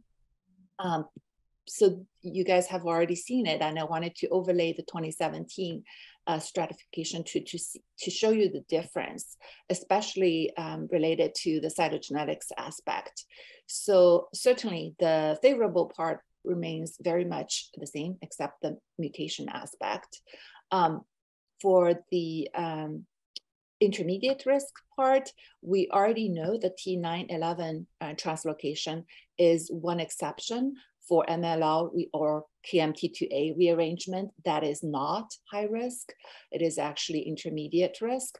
Um, this is consistent um, in 2020, but the new guideline uh, made a clarification that if, oops, if there is co-occurrence of mutations like the, this panel down here that are of poor risk, it does not overwrite the 9-11 uh, risk. So what I'm saying is if it is, inter oops, sorry, this is very finicky. Um, so if there's intermediate risk for um, the, the 9-11 and you also have concurrent mutations in this panel, it'll still be intermediate risk. So that's uh, the clarification.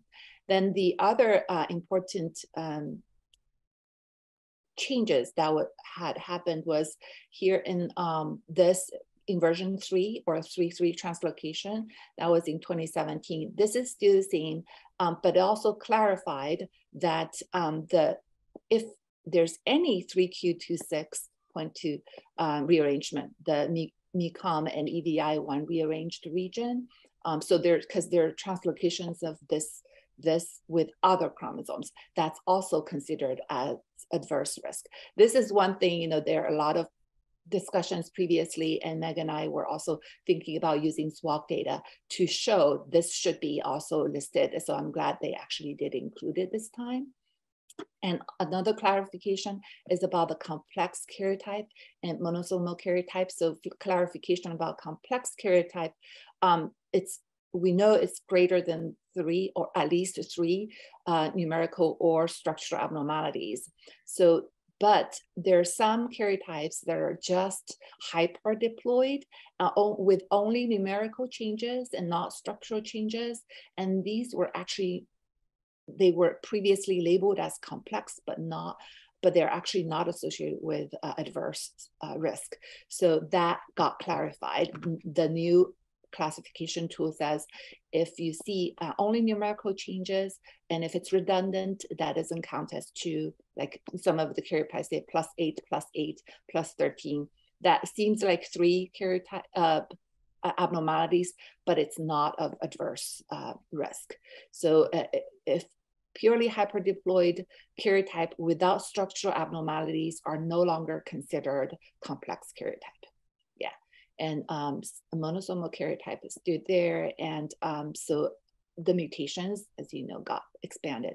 And um, about the RUNX1, so you, you can see the RUNX1 and uh, ASXL1 and TP53 um, was there before. So we are, um, of course, the abnormal uh, 17p has always been there. So any rearrangement of um, 17p would be considered abnormal. So we don't, uh, that's the reason that we, we might be uh, including the fish TP53 in our panel that is due to be delivered um, worked out and to be considered. We have a probe for it. Um, it can detect some um, deletions that are of small size than what you normally see from karyotype. So yeah, that's a consideration. So this actually, the revised um, 2022 ELN risk classification guideline now for at least for the cytogenetics part actually goes back to consistent with what we wrote um, previously, what I wrote for the S1203, um, the, the, the, poor risk cytogenetics criteria. So um, the revised version is better. So we um, very consistent with what we had, um, with the only exception that deletion 7q still somehow is not included as an adverse uh, risk factor, which we could still, Megan and I can still work on um, to clarify that aspect. Um, so actually I asked uh, Clara Bloomfield in 2018 you know, after um, the after the ELN in 2017 was out and um, she said she didn't know why deletion 7q was left out and so we were at the time thinking about looking at both of the uh, their cohort and our cohort to um, dive deeper, but, uh, but unfortunately, she um, left us. Yeah. So, um, oh, another thing, I just wanted to quickly show you a few slides why we included um, CGAT testing in this approach because we do see it actually has value to detect many um, abnormalities, submicroscopic deletions and gains, and also copy neutral loss heterozygosity that is of prognostic significance. Although they're not currently included in these risk stratification tools, but we have used this in our uh, institution for a decade and really see the significant value of it. Um, so like some micro smaller deletions that you won't be able to see otherwise. Um, and um, some of the uh, subtle mm, cryptic uh, rearrangements you uh, could be hinted by array testing, and then this could be subsequently um, confirmed as a fusion. Of course, now with Genexus, I, I suppose I think this this fusion will be picked up routinely now. Um, so we actually uh, published back in 2015 that uh, about the prognostic significance of acquired copy neutral loss of heterozygosity in AML using our own Fred Hutch data. And then later, uh, looking, uh, European group also published in Leukemia in 2017 about the value of copy number um, aberration identified by array analysis. And so from our own institution, what we uh, saw, uh, showed was that um, the presence of copy neutral loss of heterozygosity really contributes to um, more relapse and um, poor overall survival, and especially in the case of 13q copy neutral loss of heterozygosity, which is associated with um, homozygous FLT3 ITD mutation um, will significantly uh, increase relapse uh, risk and oh, decrease overall survival.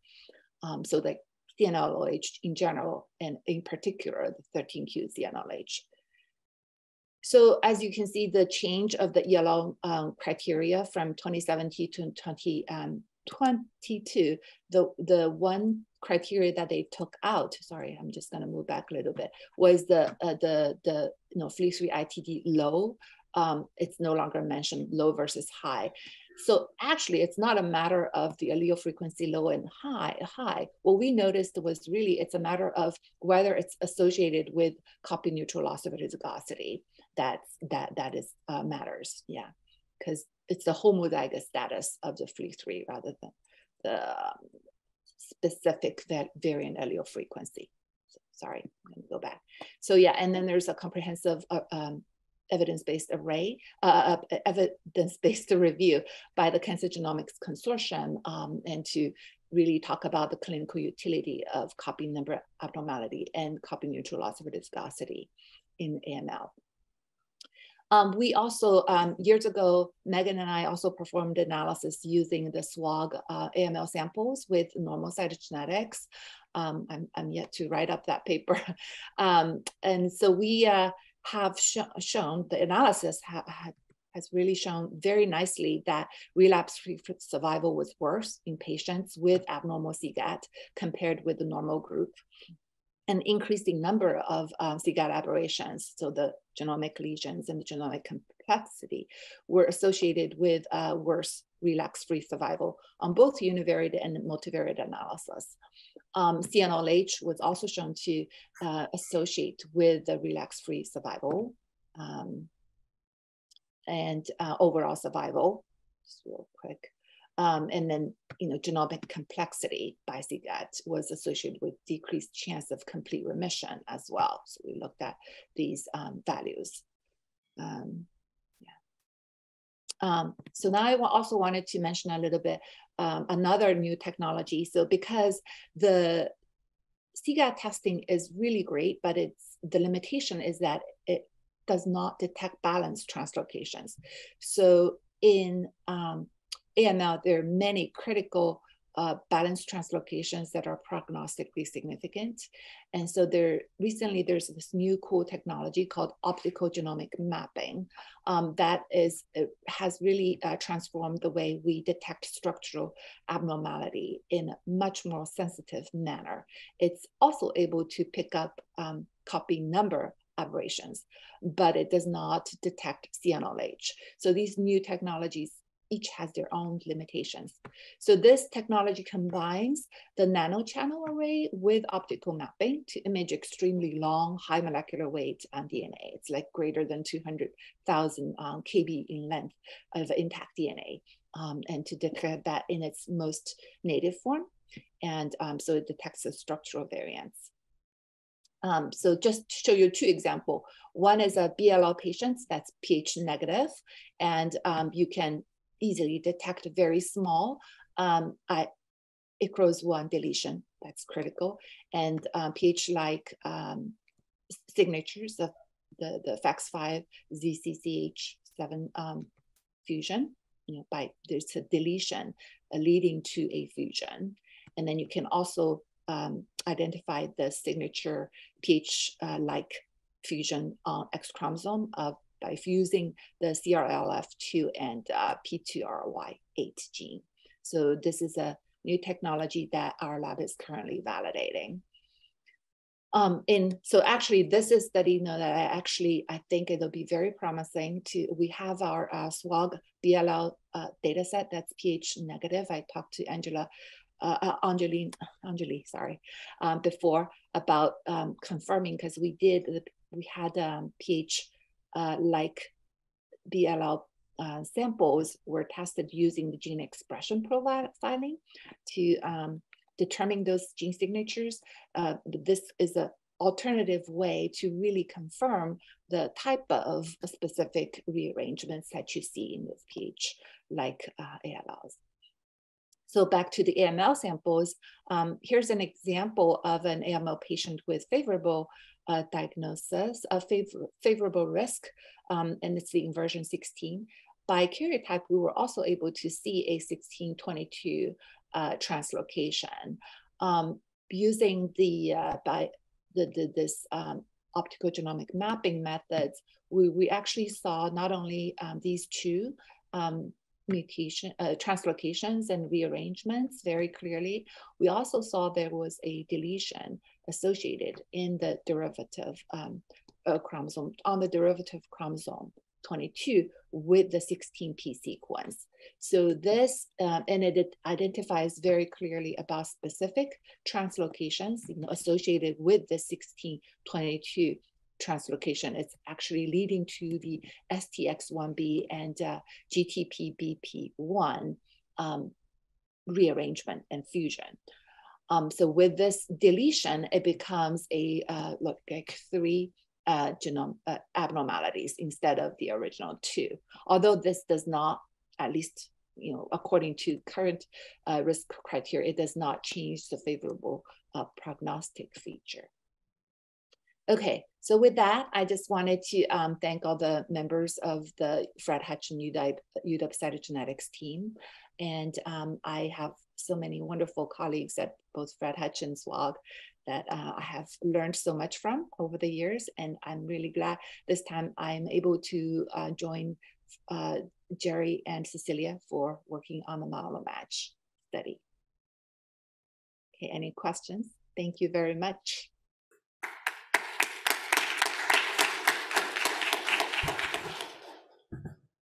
Laura, I know you have a question. I'll have you unmute in a second. I have a question though, first for, um, for Min. Mhm. You know, Oh, what I thought um, took so much time in cytogenetic analysis is the analysis that you have to do. I mean, you have an overnight culture, you drop the cells on a slide, you fix them, you stain them, um, and then it's then it's you.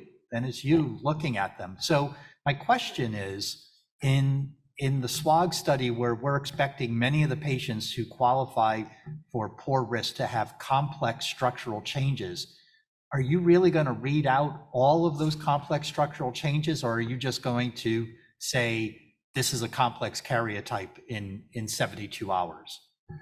we are going to read out all the complex changes. So it's all about staffing. So one uh, like critical feature, uh, critical like resource that we need is proper staffing uh, when we talk about rapid cytogenetic testing.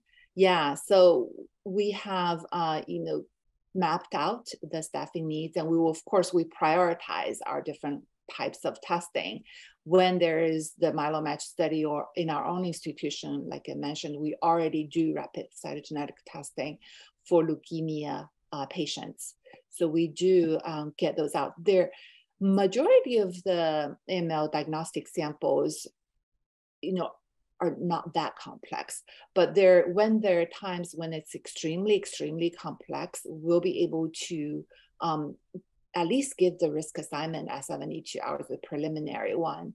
Um, but I, but the goal is to get even the complex karyotype completed by 72 hour. Okay. My second question is, you know, MyeloMatch is going to include uh, myelodysplastic syndrome. And recently, um, Elli Papaemmanuil has um, published uh, data looking at uh, important, um, important mutations in that classification. And one of them that's not in the AML risk stratification is MLL or KMT2A partial tandem duplications. Yes. So Yes. are we going to include those? Well, so that's so that's something that'll be detectable by CGAT.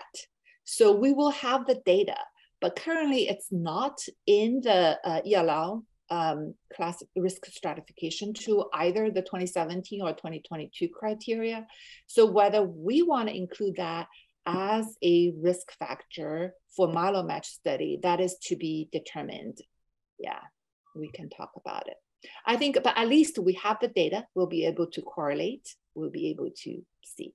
But whether it's going to be used as upfront risk um, assignment, that has to be determined. Because not only that, but also, you know, I mentioned about we plan to include the NUP98, um, uh, the, the rearrangement, although it's well known to be a poor risk cytogenetics factor, but it's not in those uh, ELN criteria. So as of now, the steering committee says we're going to use just the ELN criteria for risk assignment. So there is also the RUNX1 gene mutation is considered as poor risk factor by those uh, criteria, um, same as TP53. But what about rearrangement? Now, TP53, of course, the abnormal 17p rearrangement will be considered poor. But RUNX1, what about rearrangement? What about big deletions? Are they considering? Uh, yeah, are we considering them? So I would say yes, um, but strictly according to um, yellow risk stratification, it does not necessarily um, belong to the adverse group. Okay. Laura, did you want to unmute? I know you have a question.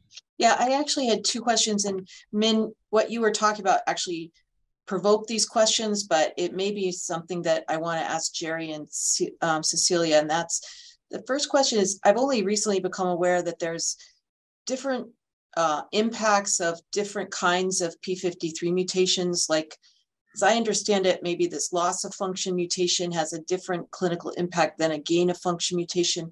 And I wondered if our molecular testing would be able to discern between those, that level. And the second question for Jerry and Celia is whether or not we're going to flag for our researchers or for our clinicians when potential germline mutations are picked up that should maybe spark a question of a germline investigation. Would that be part of our MSRP notification protocols at all? So I can um, answer this briefly first, and I'll let um, Jerry and, and Cecilia uh, dive into it further. So for the testing, um, the type of TP53 abnormalities, the, uh, depending on the domain of the gene itself, and there's a very good database that you can refer to to look at different um, abnormalities. So there are classifications of pathogenic, likely pathogenic, and etc. So these, I think, the, it'll be um, included in the report that I'll let um, Cecilia dive deeper into that. Um, and germline testing, actually for like CGAT testing or karyotype analysis, we will pick up germline abnormalities that's been known for decades. And um, so there are ways to differentiate those. And um, so how to use that, that's really a different thing, right? It's a, depending on oncologists knew whether they wanted to use that information for uh, change practice or family consultation, etc. That's a different one. So um, the current Genexus program actually does for TP53 tell you, uh, you know, it the way the software actually works is it will highlight whether it is a loss of function or a gain of function mutation, in addition to telling you whether it may be a VUS, et cetera. But of course, we always verify that with the various databases that Min is uh, mentioning. And so I do have my clinical variant scientists um, dive deeper. And then the um, answering your question about germline versus not germline. So we do look at whether um, germline versus somatic calls. And what helps us here is two things, and it gets a little bit more detail and a little bit more, nu- more nuance. So what we rely on here is the VAF. Right, the variant allele frequency, and if it gets around 50% in a patient who has um, pure leukemic blast population, it's really difficult for us to tell. However, if you tell me that the sample has a 20% blast and I'm seeing a 50% VAF on a TP53 mutation, then I'm going to say, okay, this potentially could be a germline, but you, you need to confirm that with, say, a buccal swab or a skin biopsy or something along those lines to confirm the germline mutation. And so you might see a comment from me um, asking for those types of follow-up germline testing. And um, following up to what Min says, there, for the TP53 germline mutations, there's also databases that have confirmed these types of mutations. And so we do see it on our end. And so those are things that you might see in the comment section um, of our reports. Does that answer your question? It absolutely does. It makes me think also about the fact that as MyeloMatch may want to, we may want to have a bunch of people on call uh, as cons, cons, consultants for the various investigators enrolling patients to maybe be able to call and ask some questions or something like that, similar to what ECOG did with patients who are diagnosed with APL and a way to kind of phone a friend when you really need somebody to weigh in because you know these as we learn more and more and these technologies are amazing it seems like we may need some help with um, making sure that the people using it understand the nuances of the um, of the of the testing.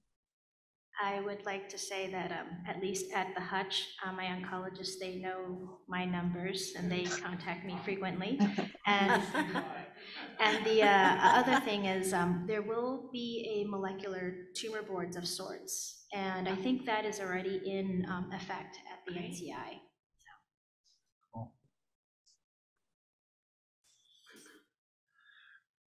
Great, well, thank you, Min Feng. Absolutely. Hmm? I am. Oh, Laura, okay, Laura, you're up. Okay, great. I'm just gonna share my screen.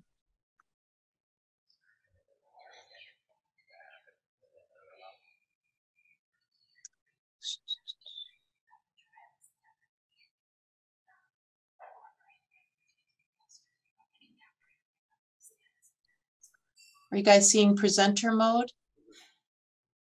Um, not yet, Okay, hold on. now it is. Now? And you're seeing the right version, right? Okay. Um, all right, well, thank you, everybody. Um, you know, you, I'm sure everybody's gonna be sick of hearing about MyeloMatch, but um, because it's such a large project and because there's so many uh, um, sort of categories of it, um, that's why we're spending some time on it here. My job is to give a little bit of an overview of where we stand with the studies that have been introduced to date. And then um, we're going to have Tara Lin and Paul and Eric talk about initially the high risk AML study. And then Eric's going to up, update where we are on the IDH2 mutated study. Um, and um, so as you know, um, and you've seen these graphs before, the MyeloMatch is a way to basically systematically coordinate a um, platform of trials so that in an ideal world, we're doing really standard setting clinical investigations in a coordinated way. Some of the words that you've heard include things like Milo, this master screening proto- protocol, which is the MSRP, that we're, um, so when you hear that, uh, that phrase, that's what this is, and that's the way that people will enter the studies.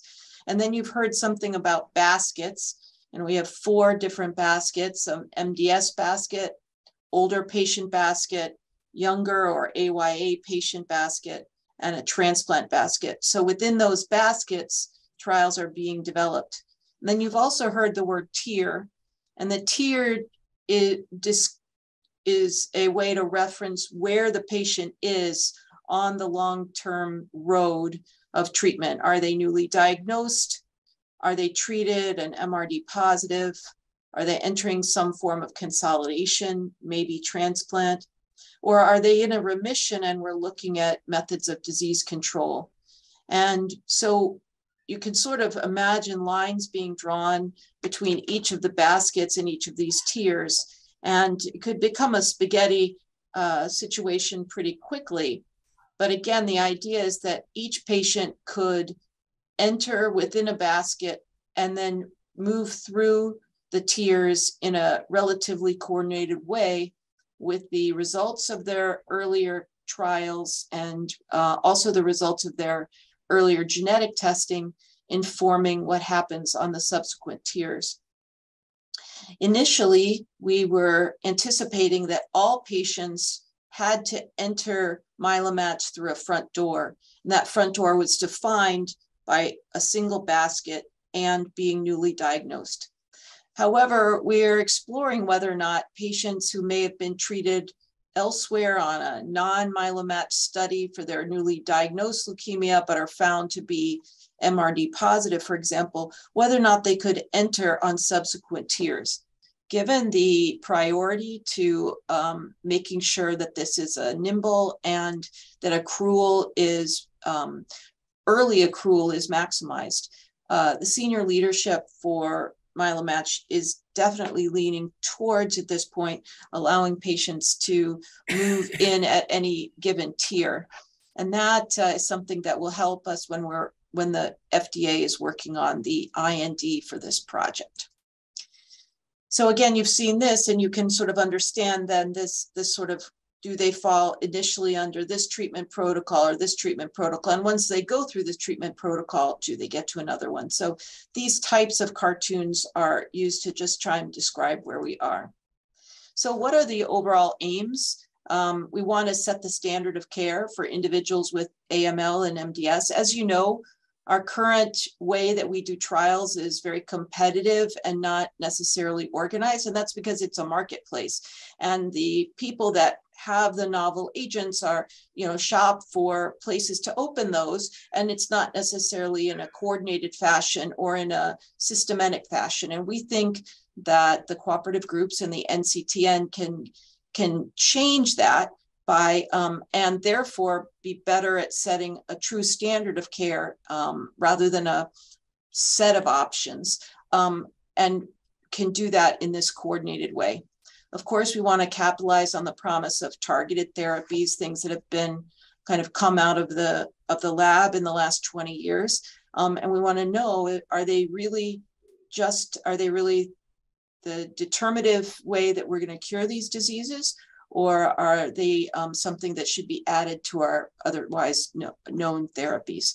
We want to validate and expand the role of flow cytometrics and measure um, base measurable residual disease. We want to validate laboratory assays to assess, assess prognosis and response. And a key part of that is to also validate clinical assays like geriatric assessments and quality of life measures, which we're moving forward to layer on top of all the trials as well. And then finally, provide an opportunity for investigators through the cooperative groups to participate and lead national clinical leukemia research. So um, the studies that come, the studies begin in the basket working groups. Um, so an investigator who's interested in, in a study should determine, is this a study that I want to test in younger patients, older patients? Is this a transplant study or an MDS study? And then by joining those working groups, you vet a trial concept, we talk it out. And then once it's relatively solidified concept, then we present it to the senior scientific council. And what I should have is some arrows here because these back and forths from the basket groups to the scientific council can happen multiple times. But during that time period, the senior scientific council is also working out appropriate pharmaceutical partnerships that could um, allow for the use of agents in those studies. So that relationship with a given pharmaceutical partner doesn't happen at the investigator end. Um, those are really, does happen at the CTEP end. Um, once that is determined and that concept sort of reaches approval, then we have a coordinating meeting. We just had one recently looking at a menin inhibitor, and we therefore align the study with the pharmaceutical plan and also the guidelines for the FDA. In some cases, we want the study to be registrational. So we want to make sure that all of those are aligned as the um, study then gets presented to the cooperative groups, subsequently submitted to the leukemia steering committee. And then as studies traditionally have, the protocol gets written and it moves towards activation on a relatively tight timeline. Now, this is only what seven nine whatever bullets but within each of these there's a ton of bullets that um, and lots of dashboards where we are and you saw an example of that for example when um, with um, jerry's presentation. So what are the benefits of participating in MyeloMatch so we think there's benefits on many ways. There's benefits to the individual patient where they have novel therapies, access to novel therapies that are chosen on the basis of their particular tumor. And that there's this coordinated care trajectory that um, allows them to be really treated with the best possible standards of care all the way across their disease and also have, as I mentioned, their subsequent care informed by their prior care. There's benefits to the enrolling sites because people can have a menu of possible trials um, so that when you get a new patient, you can say, look, no matter what kind of AML you have, we have some good options for you. We have the best possible options for you. And there's also benefits of being in, you know, in a central IRB, central contracting type of relationship like we do with the BM, with the um, uh, NCC, uh, the NCTN groups. And there's benefits to the pharma partners. And one of the most important is that for long periods of time, novel agents have been really available only in larger centers or designated cancer centers and are really, um, and the patients have been asked to go to where the trials are. Um, by doing this in such a wide in such a wide way with distribution through all the all the NCTN sites, we're going to allow the trials to come to the patients. And that's pretty consistent with the way we need to start thinking about um, treating patients uh, with diseases like this. So um, where are we? In the younger patient group, um, we have the following seven studies have been proposed, and some are a little bit farther on than others. Um, this one here, I have two here. I duplicated a, a, row apparently, but the greens are the ones that have been approved by the Leukemia Steering Committee. We're going to hear in a second about the high risk protocol, which is MM1YA SO1. This is a SWOG protocol. There is an intermediate risk protocol that's also been approved by the um, Leukemia Steering Committee that's being led by the Canadian Cancer Trials Group. And then one that's being led by uh, the SWA or the ECOG group will be for patients who go through initial induction, uh, cytotoxic induction, and still have measurable residual disease, who would then go through this, what's called a RACE study to try and get them into an MRD negative state by the time that they go to transplant, for example. We have a number of studies that have been proposed through the older patient working group um, the ones that are farthest along are one, the um, SO2 MM1OA, which is uh, for P53 mutated uh, disease. This was approved by the Leukemia Steering Committee. So it has a um, kind of absolute activation date that's been set and is now moving through the contracting and approval process. And one for FLT3 mutated disease that's also been approved by the Leukemia Steering Committee. I would uh, estimate that the earlier studies will be those in younger patients, and these would then be the next wave. We are also looking at studies, and we're going to talk about, for example, this study for an IDH2 mutant disease. We have a study for a menin inhibitor in NPM1 mutated disease we're really looking for concepts if people are interested and have any ideas for patients who have no known marker uh, or at least targetable marker or those who are refractory to hypomethylating agents.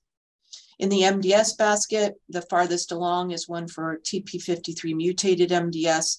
Um, and they're also looking for those who have um, wild type P53 has been proposed. And then we recently discussed one for low risk MDS using small molecule inhibitors with um, reduction of anemia as the uh, typical outcome. We've got the protocols per basket. We sort of keep track of these um, and how many are there and where they are in the, the status of things. And then also the numbers through NCTN group, which I also think is great. So not even though these might be led by a given investigator from that group, each of the protocols has a panel of investigators, of young investigators working on it, people who are shepherding the protocols through and may not be in the same group as the lead group. The lead group is really where the data will be housed more than anything, and also the role of the statistician. So I want to turn it over now to, I think Tara is going to present. And Tara, I have your slides. So if just want to let me know that uh, I should advance. I'll go ahead. Yeah, great. Thank you, Laura. Um, thanks, everybody. Um, I'm just going to talk for a couple of minutes about this um, high risk uh, trial that we have um, for younger patients. And I want to thank our collaborators through SWOG, Anna and Megan, and then Paul Shami is also um, a study chair and on the call today. Next slide. Um, so I think it's important to go over the objectives when we think about this giant study um, that this protocol is going to be a part of. The primary objective of this protocol is going to be to look at the rates of MRD negative complete remission between each of the experimental arms and then the backbone, kind of the standard arm, which is the seven and three. The secondary objectives are to look at the toxicities with the regimens and then to look at response rates that are less than an MRD negative CR, and then to look at survival, event-free survival, relapse-free survival, uh, and overall survival. Um, later on, you know, we'll be able to look at the MRD negative CR rates um, by genomic subgroups um, across all of the different arms. And then with all of the, the trials that are part of this project, right, the biobanking um, is a real critical piece. Next slide. So the inclusion criteria, and thinking about this as being a study that we really want to have broadly open, um, we tried to have the inclusion exclusion criteria be as generous as possible. Um, so for this study, it's going to be um, newly diagnosed uh, high risk patients. And again, like we talked about earlier, you know, the protocol was written based on the ELN 2017 criteria. Um, it's important to note that treatment related AML or AML coming out of um, a prior MDS or MPN um, is going to be allowed, um, but FLT3 and uh, 922 are going to be excluded. Um, prior anthracycline is allowed. Um, obviously, you know, we tried to be generous with the hepatic and renal function, but we also needed to keep it um, uh, keep it consistent across all of the protocols that are in the younger patient baskets. Next slide, please. Um, I'm looking at these for the for the the key features. You know, so Wilson's disease is going to be an exclusion because this protocol does have CPX 351 um, in in at least one of the arms. Um, HIV and hepatitis um, are going to be allowed uh, if they're under control. Next slide. And so this is not as pretty a version as the one that Laura showed of how the process is going to work, right? So patients are going to come in and enter through the MSRP. And then when they're found to have a high risk disease, then they're going to be enrolled onto this MM1YA SO1 trial. And then after induction, which will vary a little bit, um, you know, the cycles and timing by each of the arms, um, then patients will go on to the MSRP reassessment and then possibly on to another tier protocol depending on uh, their remission status and MRD results. Next slide. So these are the arms. So again, this is high risk AML uh, for younger patients.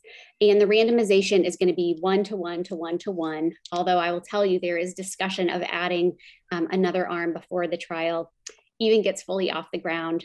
Um, so what we're looking at is a backbone, you know, a kind of our standard of care comparator arm is seven and three. And then the three investigational arms are seven and three plus venetoclax, which is given on days one to 11. Um, Vidaza venetoclax, where the venetoclax is given 28 days because that is the label indication. And then CPX 351, given it its standard doses on days one, three, and five. Next slide. Um, so again, you know, the randomization is going to be even across the arms. Um, there will be a stratification by age, the, very young versus the not quite as young, 18 to 39 versus 40 to 59, uh, as well as by TP53 mutation status. Um, as of right now, with four arms, we're looking at up to 268 patients. Um, when we look at the statistics of trying to track an improvement in the MRD negative CR rate, um, we use the baseline rate um, based on the MRD negative CR rate in high risk patients that we saw on the SWOG uh, 0106 protocol. Um, toxicity, where you should have plenty of patients to take a look at that. Um, the final analysis is designed to just look at um, the MRD negative CR rates um, in the experimental arms uh, and then compared to the seven and three arm. Next slide. I think that was all yours, Tara. I think so too. Great, thank you. Tara, I did have a quick question, and that's um, about the uh, eligibility. Did you consider having um, individual eligibility for each of the different arms, which, for example, if somebody had Wilson's disease, they might be eligible for any arm except the one with CPX. And I know that was something that we allowed in 1612, but I just don't know if that was, if the way that this, the statistics are in this, that you couldn't have eligibility that differed per arm. We, there were definitely conversations and this is where we landed. And I we'll be honest, right? I can't speak to the specifics of all the, the sure. no, discussion that went into that. We talked about it, right? Because there was also a, so there was the question of the Wilson's disease, mm-hmm. and then a question of, you know, for patients on venetoclax, how their azole requirements would have to mm-hmm. be different. And you know, the decision was made to just keep the eligibility criteria the same for everybody across. Got it. Okay. Yeah. Okay. But it definitely, it was, it definitely came up, and there was a lot of discussion. And then the only other question I had is how quick did we enroll to 1203? And did that, um, what's the, what's the accrual um, estimation, so example, for per month for this study? I don't know, I don't know that information. I'm not sure if Paul knows or if somebody else on the. Maybe call. Megan, I think Megan's in the audience. Do you remember? Yeah, Me- Megan would, just left. um, Oh, Yeah. okay, sorry. my, my guess, if I recall, man, I mean, Megan had estimated that based on uh, prior study. I think the target was about ten patients per month, but Got it. I think or that sounds right. Yeah. Okay, great. Um, Tara, thank you very much for that. Um, we'll, maybe, uh, we'll stick around. There may be questions at the end of this. We want to, I'll move on so Eric will have a chance to. So just to again, put this in context, this is the, um, purple one here is what we just heard about. This is, um, approved and moving through, uh, to be one of the first ones open. Additionally approved is the one I mentioned, uh, that is non-high risk, or um, this is the one that's been approved and moving through and is sponsored by the Canadian Cancer Trials Group. And then finally, this ECOG study for people, which will be in um, the tier two, as we discussed. So next, I want to ask Eric if he'll uh, give an update about the SWOG study for IDH2 mutated AML. Uh, yes, thank you. So again, this is the IDH2 mutant trial for the older adult uh, unfit uh, clinical basket here. And, and this is a randomized phase two trial of the oral decitabine compound uh, with cedazuridine, with venetoclax and enasidenib um, compared to standard therapy with azacitidine and venetoclax for newly diagnosed older adults with IDH2 mutant AML. Next slide, please. So venetoclax and hypomethylating agents are standard of care for older patients with AML. We know the IDH2 mutant subgroup have higher overall response rates and improved overall survival with venetoclax and hypomethylating agents. However, most of these patients will have persistent minimal residual disease and detectable variant allele frequencies of IDH2 despite these good responses. We know that BCL2 inhibition and IDH inhibitors have good preclinical and limited clinical synergy. And the triplet combinations looking at venetoclax, hypomethylating agents, and IDH inhibitors in the IDH1 mutant group have uh, very high overall response rates, including high rates of MRD negative responses. So we hypothesize that adding IDH2 inhibition to a backbone of HMA and venetoclax could improve rates of MRD negative remissions. Next slide, please.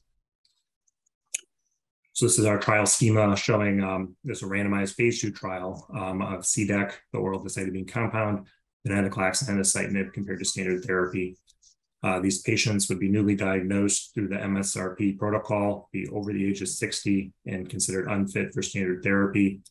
They would be randomized one-to-one to standard azacitidine and venetoclax or this novel all-oral triplet regimen of CDEC, venetoclax, and enasidenib. Patients would receive two 28-day cycles and be assessed for response um, with marrow biopsy, um, with primary endpoint being a rate of minimal residual disease negative remission is measured by flow cytometry. Patients driving clinical benefit would uh, continue until disease progression, unacceptable toxicity, or um, decision to proceed with allogeneic transplant, um, at which time they'd be taken off trial and uh, may be eligible for subsequent tiers of MyeloMatch protocols. Next slide, please. Again, the primary objective is the rate of MRD negative uh, composite complete remissions after two cycles of combination therapy. Um, our major secondary endpoints are looking at relapse-free survival, event-free survival, duration of response, and overall survival by treatment arm. We plan on uh, measuring IDH2 mutant variant allele frequency, as well as MRD uh, with flow cytometry and molecular methods in the bone marrow um, and peripheral blood at defined time points um, through the MSRP protocol. Um, we'll also evaluate uh, clinical responses and, and, how these correlate with, uh, with MRD negativity. Next slide, please.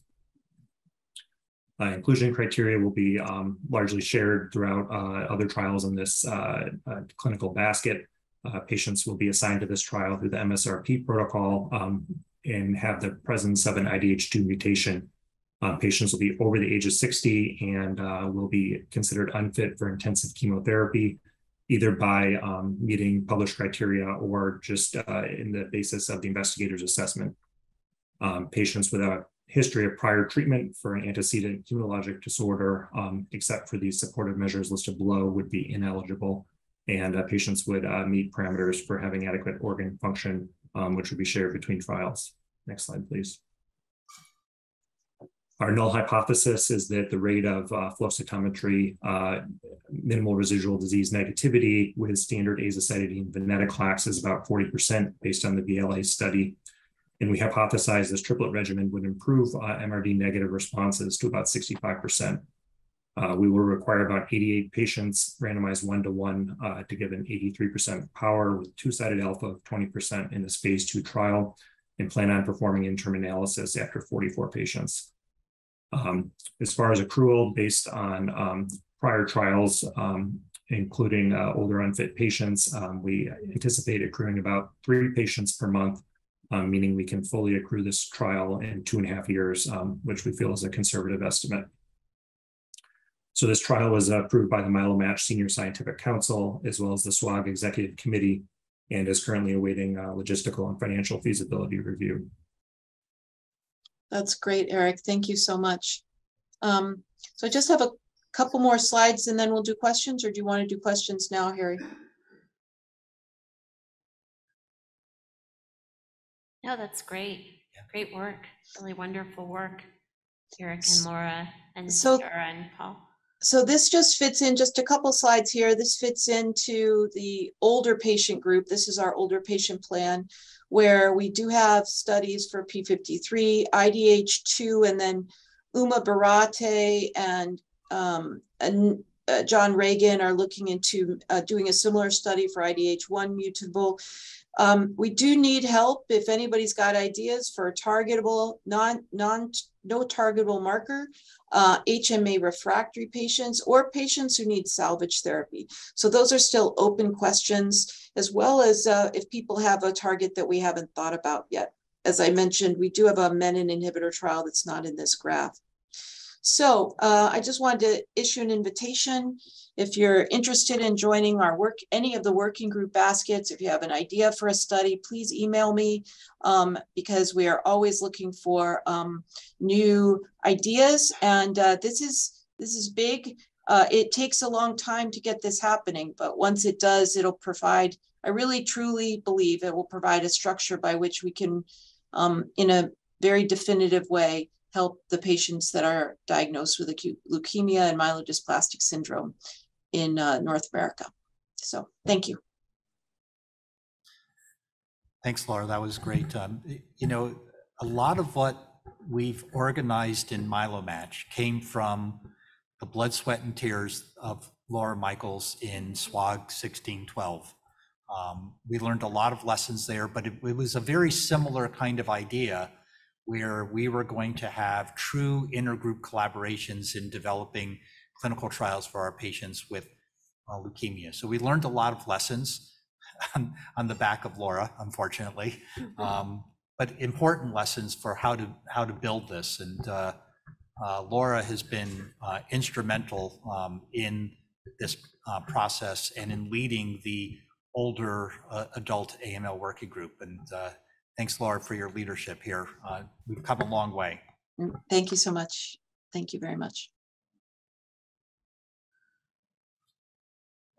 So I think uh, we really appreciate everyone's wonderful talks, and uh, I think we're adjourned unless anyone else has any questions. This is Gail. Can I say a quick word? Yes, absolutely.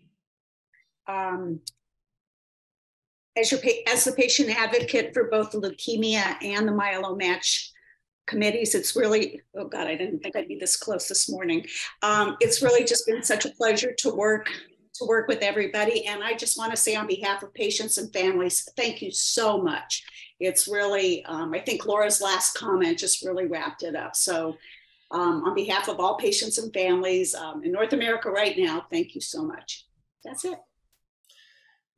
Thank you, Gail. Gail, Gail um, has been uh, with the project from early on. She accepted the invitation to be patient advocate, and as, as the whole thing grew, uh, we realized that we needed even more help from our advocates, and so I, we've added uh, four more uh, members. So thanks for what you're doing to help this. Thank you. Okay, well, I guess we're adjourned. Safe travels back.